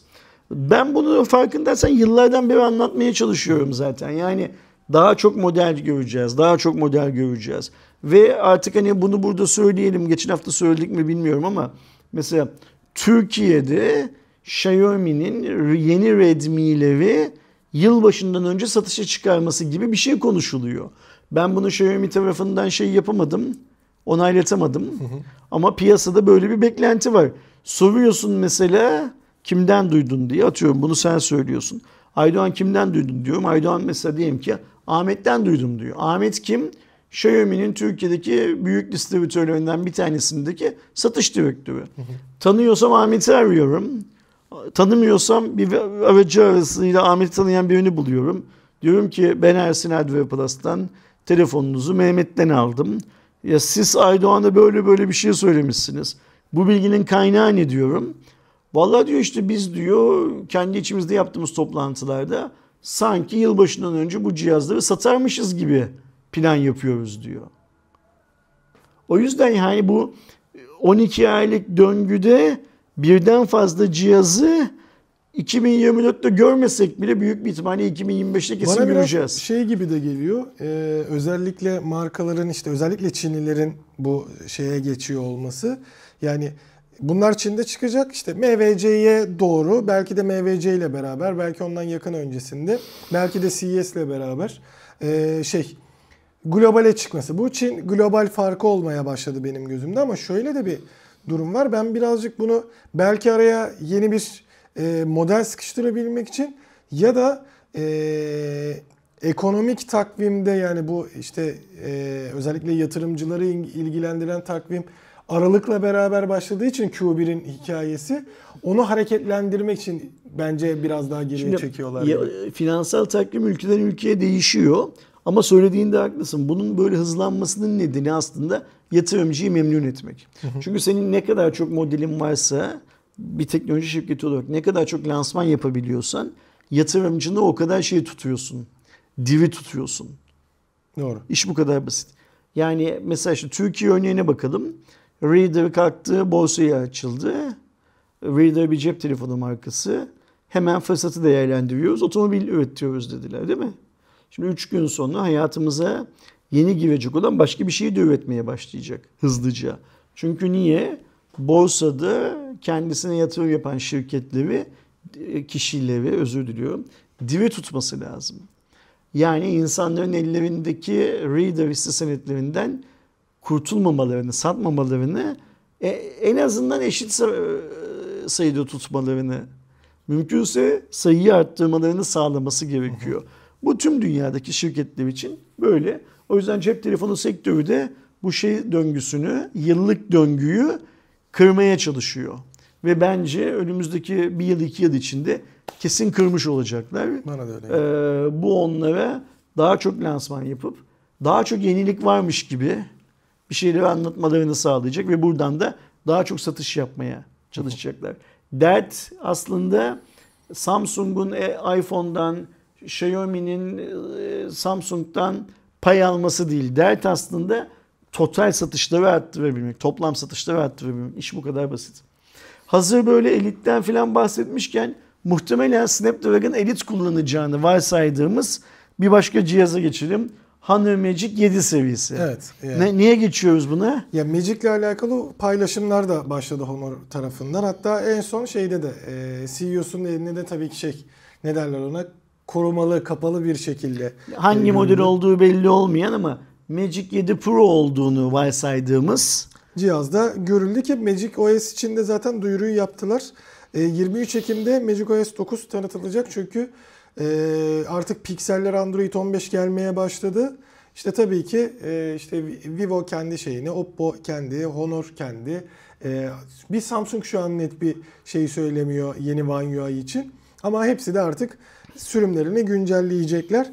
Ardından da yani Magic OS'in yeni sürümüyle Magic OS 9 ile beraber Android 15'e geçecek olan Honor 30 Ekim'de de Magic 7 serisini tanıtması bekleniyor. Yani bu Ekim ayının sonu artık işte bir amiral gemisi dönemi olacak gibi ki baktığımızda yine e, aslında Magic 7 serisinin e, Snapdragon 8 Elite işlemcisini kullanmasını e, ana kamerada, üçlü kamerada 50 megapiksellik OmniVision OV50H ana sensör 50 megapiksellik periskop ve 50 megapiksellik Sony IMX882 e, veya işte Samsung'un HP3 sensörüyle beraber 200 megapiksellik bir e, eşlik etmesi bekleniyor. Burada işte Magic 6 Pro'ya göre böyle büyük bir yenilikten ziyade biraz daha ne derler ona toparlama ya da ufak dokunuşların yapıldığı eksikleri kapatma e, bir e, dönemi olacak gibi ama tabii ki çıktığında da göreceğiz. Şu an bunlar sadece söylenti. Ekranın bu sefer Pro'da 2K'ya çıkması bekleniyor. Pro burada yine Full HD kullanıyordu. E, bu önemli bir artı olabilir. 68-69 IP sertifikasıyla beraber gelmesi e, öndeki yüz tanıma sisteminin belki birazcık daha iyi bir hale gelmesi oradaki kapsülle beraber e, bekleniyor. 5600 miliamperlik bataryanın da şarj olarak 100 wattla beraber gelmesi biliyorsunuz Honor artık e, özellikle yüksek bataryalı şarjlarda e, silikon karbona geçiş yapmıştı. Burada da aynı şekilde devam edecektir ama e, hem yapay zeka konusunda belki de hani o da olabilir. E, buradaki o geçiş hikayesi megapikselle vesaire sensörle de değil. O biraz önce konuştuğumuz işte Dimensity 9400'ün yapabildiği gibi yüksek 100x, ee, 70x falan dediğimiz fotoğrafların bozulduğu şeylerde yapay zeka ile toparlayarak görüntü e, tarafında, fotoğraf tarafında bir iyileştirme gelecektir çok büyük ihtimalle. Bu cihaz büyük bir Türkiye'de satışı çıkacak. Niye? Çünkü bir önceki Türkiye'de satışı çıktı. Şu sıralarda da gayet iyi fiyatlardan Hı-hı. satılıyor. Hemen bir sonraki yeni cihaza geçelim. Gerçi bizim kanalda Eve'nin galiba çektiği bir tane Xiaomi 15 detayları belli oldu filan tarzında bir video var ama işte lansman günü yaklaştıkça daha çok özellik netleşiyor. Anlatsana bize o netleşen özellikleri 15 ile alakalı. Xiaomi 15 tarafında da e, biliyorsunuz aslında Çin'deki lansmanda 3 cihaz tanıtılacak. Xiaomi 15, Xiaomi 15 Pro ve Ultra. Ama globale artık e, Xiaomi'nin Pro'yu getirmek yerine Ultra'yı getirmeyi tercih ettiğini özellikle görmüştük. Bu da o şekilde devam edecek e, globale gelişte. Ama özellikle Xiaomi 15'in detayları daha çok konuşulmaya başladı. Çünkü Ultra'yı az çok biliyorduk. Diğerlerinde biraz daha varsayımsal gidiyordu. Şimdi en azından e, Xiaomi 15'in 6,36 inçlik 1.5K'lık bir e, AMOLED ekran ama kavisli olmayan bir ekran kullanacağını biliyoruz. 120 Hz'lik 8 Elite zaten bu serinin işlemcisi olacak. Ee, ana kameramız 50 megapiksellik OmniVision OV50H ee, işte zaten bu amiral gemilerinde artık standart haline gelmeye başlayan bir e, şey olduğunu görüyoruz. Ama üçlü kamera sisteminin tamamen 50 megapiksele çıkacağı ve 3.2x'lik telelensinin yer alacağı zaten Android 15 kullanılacak. Hı hı. HiPro S2 adıyla beraber. Onun da bir e, lansmanı olacak. IP68 kullanacak. Tabii ki Leica optikleri artık şey. Ama burada tabii ki geçtiğimiz seneye nazaran da e, farklı yeniliklerin yapılması bekleniyor. Bataryanın 5500'e çıkması burada önemli. Ben burada şeyi bekliyorum. Ee, bir anda 500 mAh arttırmak ve telefonu bu küçük yapıdaki telefonu kalın yapacağı için Xiaomi de galiba artık silikon karbona geçiş yapacak gibi hissediyorum. Çünkü baktı Honor güzel kullanıyor. Diğerlerinde sorun olmadığı, bir sıkıntı olmadığını görünce 90-50 bir e, şey olacak. Yani 90 watt kablolu 50 watt kablosuz. Pro'ya büyük ihtimalle 120 watt gelecektir. Ultra'da da 144 Hz'e çıkacağı, çıkması bekleniyor 2K'lık ekranında. 850 zaten işte hı hı. şey. Ana sensörümüzün yine LYT 900 olması ama lens ve işlemciyle beraber performansının artırılması. Burada da özellikle periskop lensli işte 200 megapiksellik lensi kullanarak e, Samsung'un ISOCELL HP9'u kullanıp bir geliştirme yapması. E, bir diğer yandan Sony'nin IMX858 ultra geniş ve telelenste kullanılarak e, bir sistem yapılacağı söyleniyor. 6200 mAh'lik bir batarya beklentisi var. Burada da bu artışı görünce e, benim beklentim birazcık silikon karbona kaydı e, bu tarafta. E, bakalım özellikle hem yapay zeka ile hem 8 Elite ile beraber ne yapacakları. Tasarım olarak 14'te e, bir 14'ten 15'e geçerken bir değişiklik görürüz ama e, son bir buçuk iki senedir Xiaomi açık açık söylüyor. Ultra serisinin tasarım dili budur diye. Yani Ultra'da Çok aynı şeyle yani. ufak tefek değişiklikler bile beraber gelmesini bekliyoruz. Devam et lütfen haberleri. Bir diğer e, güzel ve işin ne kadar değiştiğini gösteren haberlerden biri e, Nobel ödülleri daha doğrusu dağıtıldı. Burada bizim e, dikkatimizi çeken iki önemli şey var. Birincisi Nobel e, Fizik Ödülleri tarafında. Nobel Fizik Ödülünü e, Geoffrey Hinton ve John Huffield kazandı fizik ödüllerinde. Burada hem tepkiler hem de farklı bir durum oldu. Çünkü bu iki adam kim, niye önemli dediğinizde aslında bu iki adam yapay zeka dediğimiz e, generative e, AI sistemini ve bunun temellerini atan iki insan. Özellikle zaten e, şey tarafına baktığımızda 80'lerden bu yana e, gelen tarafta baktığımızda e, yapay zekanın babaları olarak görünüyor bu iki e, emekli profesör hatta şey e, Geoffrey Hinton özellikle emekli olarak karşımıza çıkıyor. Buradaki önemli taraf artık yapay zekanın hangi seviyeye geldiğini Nobel tarafında da bize gösteriyor. Bir de bazı taraflarda şey diyor hani fizikle de çok alakalı değil durumun. Hani aslında fizik ödülleri burada bu tarz bir şeyde değil. Ama bu adamlar tabii ki yapay zekayı buldukları için değil. O dönemdeki fizik çalışmalarıyla yapay zeka dediğimiz şey e, ortaya çıkmış oldu. Bu profesörlerin yaptığı bilimsel çalışmalar yüzünden Aynen sinir ağlarını bulan bir yapay çalışma. zekalar bugün hayatımıza girebildiği için eleştirilen yönlerden birisi de gecikmiş bir şey oldu, ödül hı hı. oldu. Yani bu insanların bu çalışmaları bu sene ya, yaptığı, konuşuyoruz diye mi yaptınız? Aynen öyle. Biraz böyle popülist oldu ama Türkiye için önemli olan ikinci galiba şey konu.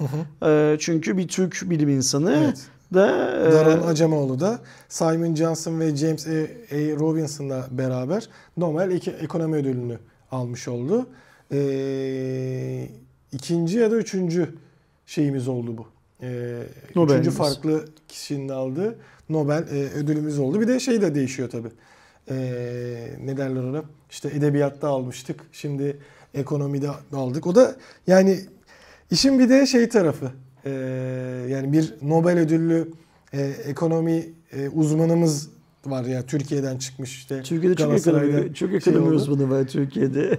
Sadece bir tanesi Nobel ödüllü. Yani çok ekonomistimiz var. Ben ekonomi ben ekonomistim diyen bir şeyler söylüyor Türkiye'de. Ne evet. olacak?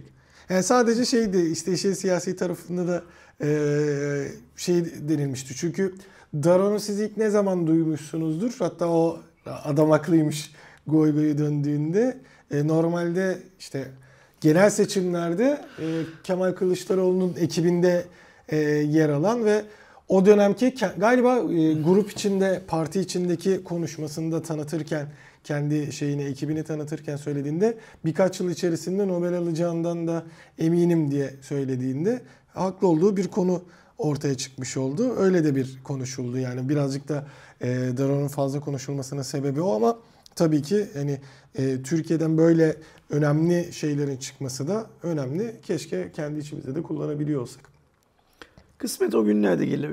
Sen devam et haberlerine. Ee, Yandex'in ajansından gelen bir bültenle ortaya çıkmış oldu bu da. Yandex e, Türkiye'ye... Yandex Yandex kim? Rus teknoloji şirketi. Evet.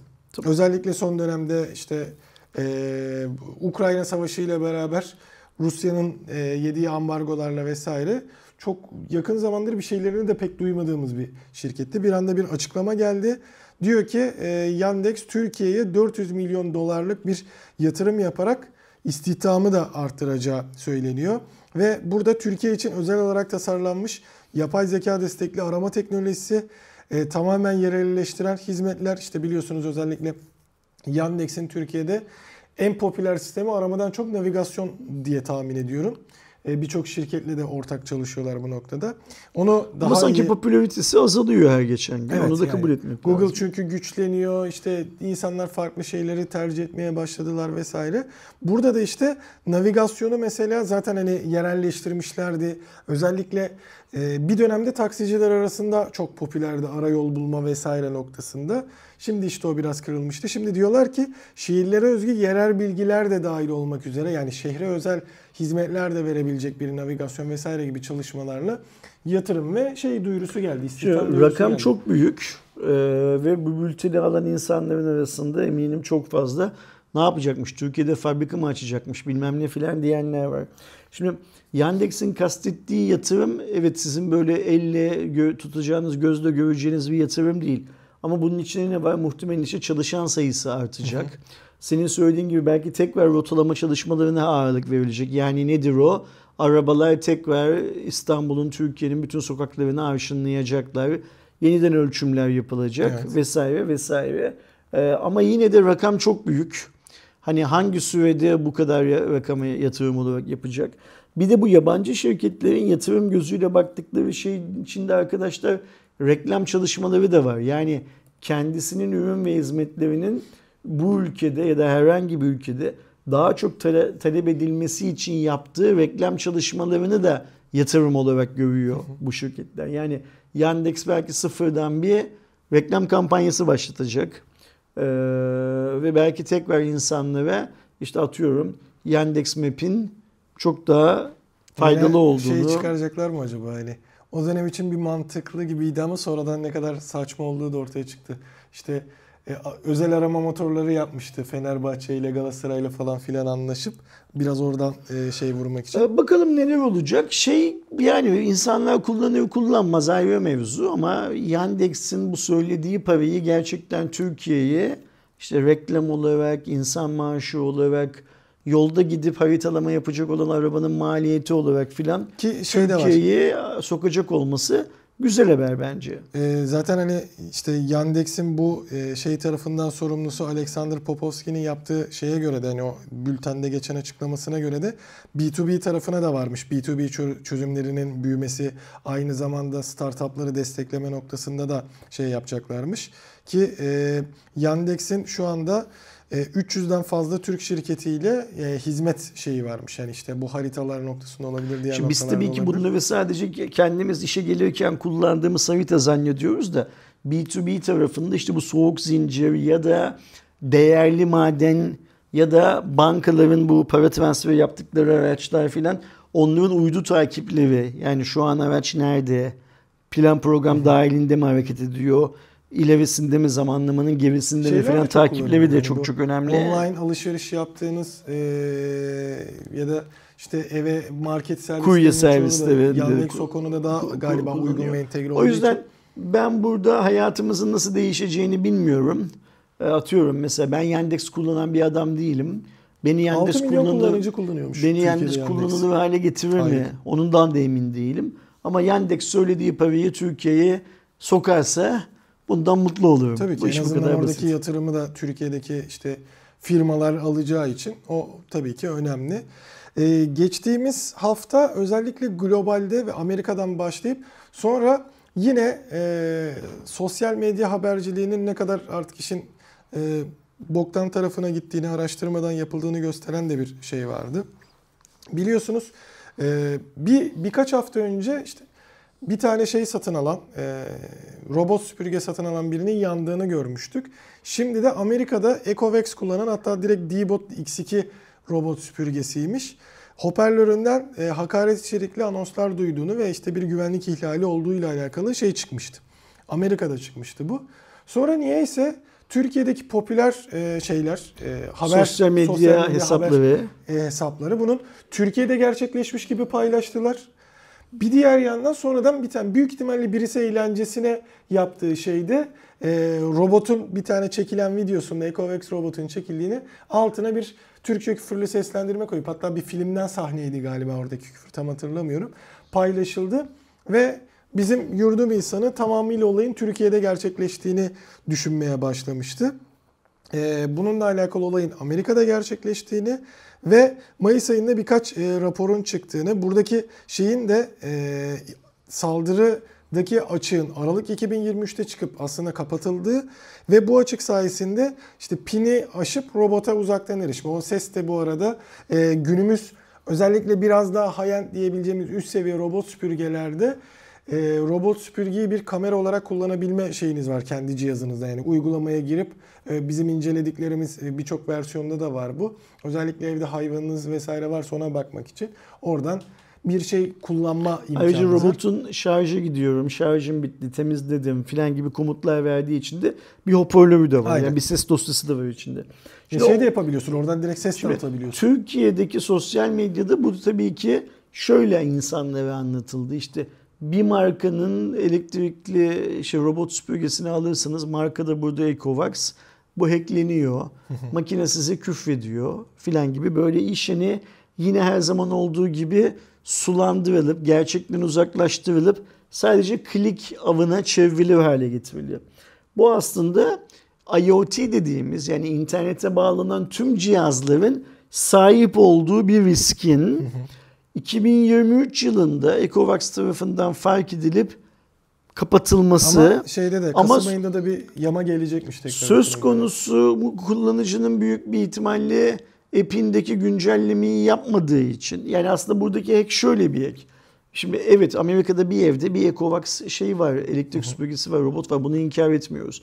Adam, adam dediğim bir hacker dışarıdan o evin ilk önce modemi üzerinden değil mi?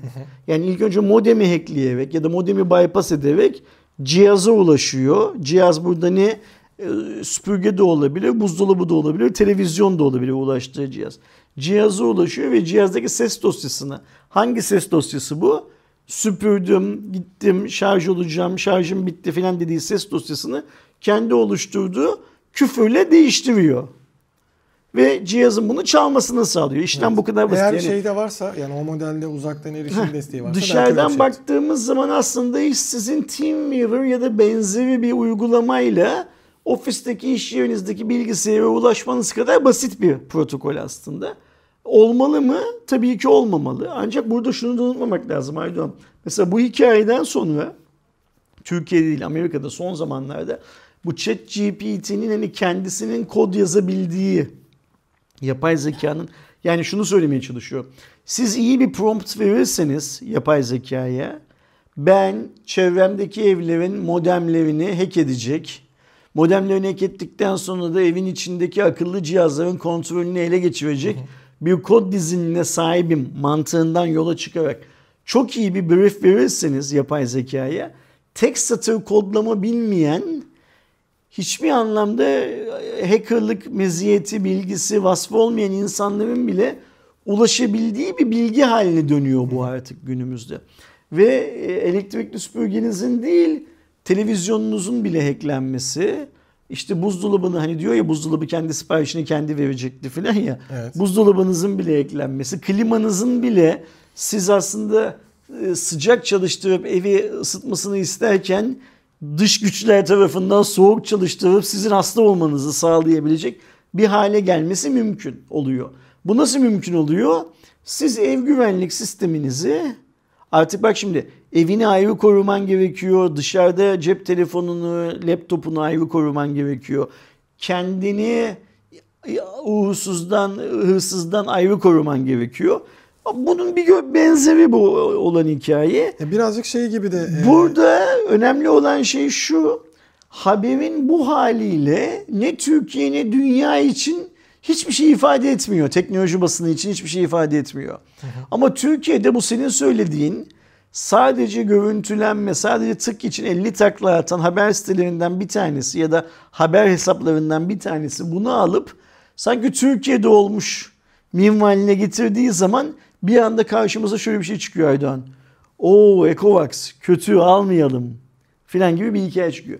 Ve işin çok daha kötüsü bu. O Ecovax kötü almayalım bilmem ne filan diyen insanların neredeyse tamamı asıl sorunun kendi kurdukları çünkü öyle insanların çoğu şöyle zannediyor. İnterneti bağlattın ne demek o sözleşme imzaladın. Adamlar geldiler modemi kuru fişi taktılar. Ve sen güvendesin zannediyorlar aslında. Güvenlik güvenliğin böyle bir şey olmadığını bilmeyen insanların o Ecovax kötü almayalım bana küfrediyormuş diye.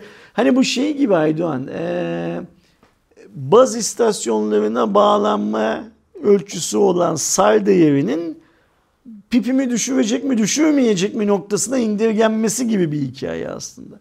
Yine böyle cahillikten beslenen. Bakın şunu söylemiyorum. İnsanlar kesinlikle öyle anlamasınlar. Ya işte ben Ecovax'a kefilim bilmem ne filan demiyorum. Ben şunu anlatmaya çalışıyorum. Aynı yöntemle televizyonunuzu da ekleyebilir adam. Çünkü şey zaten hani buradaki tabii ki sıkıntılardan biri belki orada bir iki adımlı doğrulama şey istemiş. Çünkü örnek veriyorum. Ee, Dreamy'nin ürünlerinde anladığım kadarıyla şeyde de var. Ee, Roborak'ta da var. Normal bir kullanıcı adı şifre belirliyorsun. Bunu herhangi biri eğer ele geçirirse senin robotuna erişebilir formda oluyor. Ama mesela kameraya erişmek için ayrı bir pin sistemi yapmış şey. Ee, ya bunlarda öyle bir sistem yoktu, şey yoktu. Yani şifreyi bir de şey hikayesi vardır ya işte bir şifreyi çözdükten sonra birçok şeyini bulabiliyorsun. Burada da öyle bir durum. Hani Ecovex'in yapması gereken büyük ihtimalle bir katman daha eklemek ya da o pine işte SMS doğrulama gibi bir ikinci aşama eklemek mantıklı olacaktır. Ama onun dışında birçok sadece işte senin eğer klimana e, örnek veriyorum LG işte Samsung bilmem ne kliman var uzaktan kontrol edilebilen. Samsung hesabının LG hesabının şifresini e, basit bir şey yapar ya da çaldırırsan bütün ürünlerine erişilebilir formda kalabilir. Söylemeye çalıştığım şey tam olarak bu. Yani biz tabii ki bu örnekten üzerimize düşen dersi çıkartalım. Ama şunu bilelim. Bunu yapan adamın eğer sen oyun alanını geniş tutarsan senin televizyonuna da ulaşır, elektrik süpürgene de ulaşır, işte klimana da ulaşır, hatta akıllı otomobiline de ulaşır. Şu anda belki bilmiyoruz ama bir yöntemle akıllı otomobiline falan da ulaşır. Burada güvenlik artık insanın biraz kendi güvenliği haline geliyor. Yani ee, bu iyi bir şey değil. Bunun iyi bir şey olduğunu söylemiyorum. Bu zaten tespit edilmiş. Açığın gidebilmesi için gerekli önlemler alınmış. Demek ki daha geniş bir önlem ağı, önlem seti kurması gerekiyordu Ecovax'ın. Burada dikkat etmemiz gereken şey şu. Bu eski bir olay yeniymiş ve Ayşe teyzeye Fatma teyzeye oluyormuş gibi bize sunuluyor olması. Hı hı. Ben buradan şöyle bir iyilik çıkabileceğini düşünüyorum Aydoğan. Yani tabii ki Ecovax'ın Türkiye'deki yöneticileri benimle hemfikir değillerdir ama insanların aslında ne kadar tehlikeli bir e, işle uğraştıklarını anlamaları konusundan. Öyle ya şimdi düşünsene mesela. Sen benim annemi tanıyorsun. Hı hı. Benim annem 84-85 yaşında yaşlı bir kadın. Şimdi onun evini düşün. Televizyonu açtı. Ne izlemek için aslında? Mesela benim annem TRT haberleri izliyor en çok televizyonda. Bir de yine TRT'de böyle bir iki tane şöyle geziyoruz, gözüyoruz tarzında TRT'nin belgesel kanalında bir şeyler var. Onları izlemeye bayılıyor. Bir şey izlemek için annem açsın televizyonu ve anneme mesela ne izletsinler? Porno film izletsinler. Mümkün mü? Teorik olarak mümkün. Evet. Ya da anneme işte biraz önce örneğini verdiğimiz gibi klimasını, annemin klimasının e, uzaktan erişimi, internet bağlantısı yok ama olduğunu varsayalım. Annem İzmir'de yaşıyor. Klimayı niçin kullanıyor? Yazın serinlemek için kullanıyor. Doğru. Annemin yazında klimanın ısıtmasını sağlasınlar filan mesela. Bu insanlar bunların altından kalkabilecek teknolojik şeye sahip değiller. Ee, bilgiye sahip değiller. Yani annem en iyi ihtimalle ne yapabilir? Televizyonu ya da klimayı kapatır. Doğru. Ama övüşen adamın tekrar açmak gibi bir şeyi var. E, yetkisi Prizden var. çekmesi lazım. Şu anda. Ha? Prizden çekiyor bunu. Prizden çekmesi lazım. Evdeki modemi belki bir şeyden çekerek ancak kurtarabilir. E, prizden çekerek kapatarak kurtarabilir. O yüzden söylemeye çalıştığım şey şu. Bu gibi safsata olarak nitelendireceğim sosyal medyada, Türk sosyal medyasında yapılan paylaşımların. Bu gibi safsatalarla insanların güvenlik konusundaki bilinç seviyesi belki arttırılabilir. Tabii. İnsanlara deniyor ki sen işte Samsung hesabın mı, Ecovax hesabın mı, Xiaomi mi, LG mi fark etmez. Tesla hesabın mı? Şifreyi 1, 2, 3, 4, 5 yaptığın sürece diğerlerinden daha güvensiz pozisyondasın. Evet. Bu kadar basit. Modeminin şifresini de 1, 2, 3, 4, 5 yaptığın sürece daha Önceden güvensiz zaten özellikle. DSL zamanı işte bilgisayarların uzaktan erişip özellikle şeyse basit bir şifre yapmışsan şeyi e, CD trade'i çıkarıp, çıkartıp şey yapma, ekrana mavi ekrana çevirme, bilmem ne yapma, e, keylogger'ı içine atabilme gibi basit şeyler de vardı ve bunu sadece tek bir programla bile yapabiliyordun. E, özellikle bir de aynı ağdaysan zaten bütün cihazlara erişebiliyorsun. İşte bir de bugünümüzdeki yapay zeka çağında tek satır kod yazmayı bilmeyen adamların bile yapay, yapay zekadan yapay zekaya iyi bir tanımlama yaparak bu gibi uygulamaları alabilme ihtimalinin olduğu sürece daha çok Evet. Bunları ne demek lazım? Yani sanal zorbalıklar demek lazım bunları değil mi? Çünkü bir insan bir insana istemi dışında bir zorbalık yapıyor bir anlamda. Maruz kalabileceğimiz bir dönemdeyiz. Burada sadece çözümü satın aldığımız markadan beklememiz bana biraz şey gibi geliyor. Yetersiz gibi geliyor. Çünkü zaten şöyle bir şey mesela şimdi bu örnekten yola çıkalım. Ecovax buradan alması gereken dersi alıp zaten o açığı gediği falan kapatmıştır, kapatacaktır, elinden geleni yapacaktır. Ama onun elinden geleni yapmış olması e, bu söz konusu Amerika'daki eve dışarıdan bağlanan adamın bir daha bağlanmayacağı anlamına gelmiyor. Doğru. Belki bağlanacak ama e, elektrikli süpürgesindeki e, akıllı robotundaki erişim olmadığı için ona ulaşamayacak. Başka bir şey yapamayacak belki ama yeni evin içinde fink atacak ya da en azından o evdeki internete bağlı tüm cihazların hangi sitelere bağlandığını, nereye hangi veriyi gönderdiğini, belki başka şifreleri, kullanıcı isimleri falan toplamaya devam edecek. Ben bunu şu yüzden anlatıyorum Aydoğan bu kadar.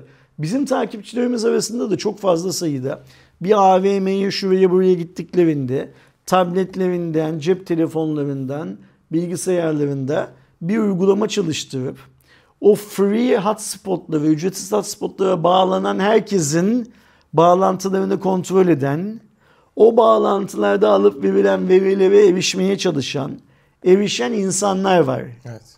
Bir de yine bizim takipçilerimiz arasında bunların mağduru olanlar var. Mesela zaten bu iş var. bitmeyecek. Hiçbir zaman. Hiçbir zaman bitmeyecek bu. O yüzden bizler önlemlerimizi almakla yükümlü haldeyiz bir yerden sonra. Biraz daha böyle hani büyük firmalarda çalışan beyaz yakalıların e, ortak bir derdi vardır onlara verilen laptoplarla alakalı. Bağlanamamak. Der ki ev ve iş yerindeki e, Wi-Fi dışında yani dışarıda bir iki dakika iş yapmak istiyorum bağlanmıyor. Bir Hatta şey. yeni dönemde dediğim son 5-6 yıl özellikle Amerikan şirketleri sadece kendi cep telefonlarında çalışanın kendi cep telefonunda açtığı hotspot. hotspot'a bağlanmasına izin veriyor. Bunun sebebi işte bu olaylar zaten. Bu Siz tamamen... hiç farkında olmadan hani normal bir kullanıcı için şey olmayabilir ama bir anda şey de çok konuşuluyor. Yani çocuk kullanıyordu. Porno siteye o girmiş hikayesi falan artık çok masum kalıyor evet. hayatımızda. Çok daha ciddi, çok daha komplike başka şeyler var. Şu da var. Bir insan sizin bağlantınıza girip size zarar veremeyecek durumda olabilir. Ama oradaki sorun sizin bağlantınıza girmesidir zaten.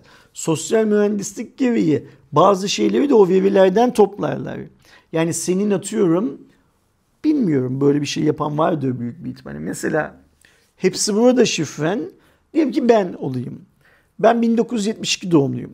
Hepsi burada şifrem hepsi burada 72 ise Trendyol şifrem Trendyol 72 ise Adam o zaman şöyle düşünüyor. Ha bu adamın Garanti Bankası şifresi de Garanti, Garanti 72. Bir deneyelimle başlıyor bu işler. zaten evet. İşte o yüzden bunu anlatmaya çalışıyorum insanlara. Yani sosyal mühendislik bu işin böyle bir parçası.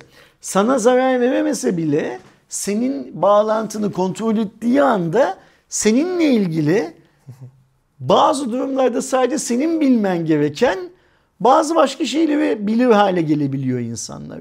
Ve bunu bildikleri için de başka bir noktadan sana zarar verebiliyorlar. Doğru. Dönüp bakınız işte yakın zamanda anlattığımız bankacılık, telekomünikasyon sisteminin içinde olduğu Türkiye'deki dolandırıcılık şablonu. Bunların hepsi böyle işlerden çıkıyor. O yüzden son kullanıcı olarak hepimizin kendimizi korumak adına bir şeyler yapmamız gerekiyor. Kesinlikle. Bunun en temel başlangıç noktası güvenilir, uzun ve sık değiştirilen şifreler. Evet. Başka bir yöntem var mı? Yok. Ya en kötü senede bir değiştirmeniz lazım. O işte birazcık ezberde şeyde de öyle. Bazen mesela yine bankacılık sisteminde işte maksimum 6 ayda bir şifreni değiştirmeni istemesine kızan insanlar var. İşte bu yüzden bu tarz şeyler olmasın diye yani bazıları olduktan sonra akılla başarıya gelebiliyor ama olmasın diye yapılan şeyler oluyor. Ee, burada mesela şey hatasını da yapanlar çok var ama bazı insanlara da kızamıyorsun özellikle belli yaş üzerinde. Notlarda tutuyor unutmamak için. E bu sefer de o bir şekilde erişildi mi? Yani Dijital kadar... olan her şeyi erişebiliyor. Ya yani böyle insan şeyler var. Kripto para cüzdanlarının o e, 6-7 kelimelik anahtar kelimelerini Outlook'un gidip notlarına yapıştıran insanlar var. Yani adam onun bilgisayarına girdiği zaman ha diyor bu diyor bilmem ne kripto para cüzdanı kullanıyor diyor. Gidiyor notlarda bir bakıyor adam yazmış öyle mesela. Metamax kurtarma kelimeleri diye 7 kelime. Sen o 7 kelimeyi kaptırdıktan sonra adamın senin bilgisayarına bağlı olmasına bile gerek yok. Dünyanın herhangi bir yerindeki herhangi bir akıllı cihazla senin Metamax adresine gidip bütün fonlarını başka bir adrese şey yapabiliyor, aktarabiliyor. İş bu kadar basit. O yüzden hani e, ben bunu şu Word dokümanına yazdım. Mesela ben görüyorum, kendi ailemden de görüyorum. Benim bütün şifrelerim bilgisayarımın da masa üstündeki şifreler dokümanında diyor bir akrabam bana. yani bu adam senin modeminden içeriye sızdığı anda senin bilgisayarın kapalı iken değil ama açıkken senin bilgisayarına sızma ihtimali var. Bunu evet. unutmayacaksın. Ya bir de şunları duyuyorum Aydan mesela şaşırıyorum. Ben diyor tüm şifrelerimi diyor atıyorum mesela kocasına mail atmış. Nasıl attın diyor. Benim Gmail adresimden diyor. Onun Gmail adresine gönderdim diyor. Mesela güvenlik ya da privacy böyle bir şey değil arkadaşlar. O yüzden lütfen dikkatli olun. Yani akıllı süpürgenizin size küfretmemesini istiyorsanız siz de biraz dikkatli olun arkadaşlar. Siz de lütfen çevrenizdeki insanların bu tarz zorbalıklara mağdur kalmaması için elinizden geldiği kadar onlara da yardımcı olun. Evet. Ee, anlatın bu hikayelerin nasıl olduğunu. Ee, çünkü bu hikayeleri bilmedikleri için çoğunlukla dolandırılıyorlar, başları ağrıyor, bilmem evet. ne oluyor. Yazık bu insanlara. Başlarına böyle şeyler gelmesin ve böyle şeyler gelmemesi için gereken önlemleri alamıyorlarsa sizin desteğinizle bari şey yapsınlar. Yani iyilik yap denize at muhabbeti evet. var ya. Yapın bir iyilik atın denize birilerine. E, mutlaka bir şekilde işte zaten. karşılığını alırsınız. E, memlekete gittiğimde Aydın'daki evde teyzemlerinin yazdığına vesaire uğradığımda bir oradaki modemdedir cihazla zaten laptopum illaki yanımda oluyor. Bir kontrol yapıp şey yapıyorum. Ne olmuş ne telefonları kontrol ediyorum. Ya zaten artık bugün günümüzdeki bu iyi markaların yeni modemleri ya da ağ ürünlerinin tamamı arzu edersen sana bir aylık liste, arzu edersen o modeme bağlanmayı başaran cihazların listesi filan gibi raporlar sunuyorlar evet. zaten. En kötü ihtimalle dönene bak. Dön ona bak. Senin evindeki telefon, tablet, laptop, akıllı cihaz sayısı belli. En azından eğer farklı bağlantılar görüyorsan değiştir şifreyi yani. En güzeli şöyle bir şey yapmak ki bir sonraki şeyde gidişimde öyle bir şey yapmayı planlıyorum.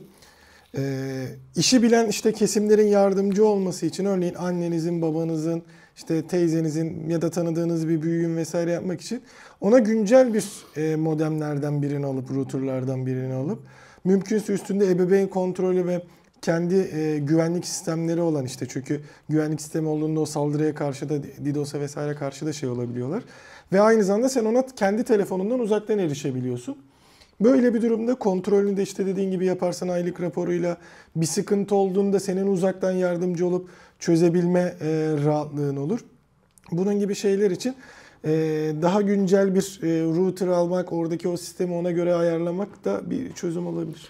Ya zaten Türkiye'de bu eski modem sorunu büyük bir sorun. Çok. Yani o kadar çok eski modem var ki Adam mesela atıyorum e, Türkiye'de ADSL ilk çıktığı gün bir şirketin ona verdiği, hediye ettiği modemi kullanıyor hala. Şirketten kastım bir ISP. Hı hı. Artık o ISP'de bile değil belki. Ve mesela işte telefon açıp burada diyor ki ya diyor bizim evde internet diyor çok yavaş diyor. Alt komşuya iniyorum diyor. Orada internet çok hızlı diyor. Aynı binadayız. ikimiz de aynı faturayı ödüyoruz. Niye onunki çok hızlı benimki çok yavaş diye soruyor mesela. Hiç o modemi değiştirmezse o modemin üretildiği gündeki en yüksek hızı alabileceğini, ondan sonraki daha yüksek hızlara ulaşamayacağının filan farkında değil mesela bir evet. kısım insanlar. O yüzden bunları anlatın arkadaşlar. Bunlar bir kısım insan için sıkıcı bilgiler. Anlatın örnek vererek anlatın. Bu işte bak robot süpürgesi ona küfretmiş diyerek anlatın ki insanlarda şey olsun e, dikkat uyansın bu konuya karşı. Bazı mağduriyetlerin önüne en azından böyle geçelim. Böyle geçmeye çabalayalım. Ve 333 deyip güldüğümüz, gülmemiz gereken bu cuma raporunu da böylece şeyle sizden bir ricada bulunarak kapatmış olalım. Bilgi paylaşmak gerekiyor. Bilgi güçse paylaştıkça paylaştığınız insanları da güçlü hale getirirsiniz. Bence paylaşın bol bol. Önümüzdeki hafta 334. Cuma raporunda Aydoğan'la birlikte tekrar karşınızda olacağız. O zamana kadar kendinize iyi bakın. Hoşçakalın. Hoşçakalın.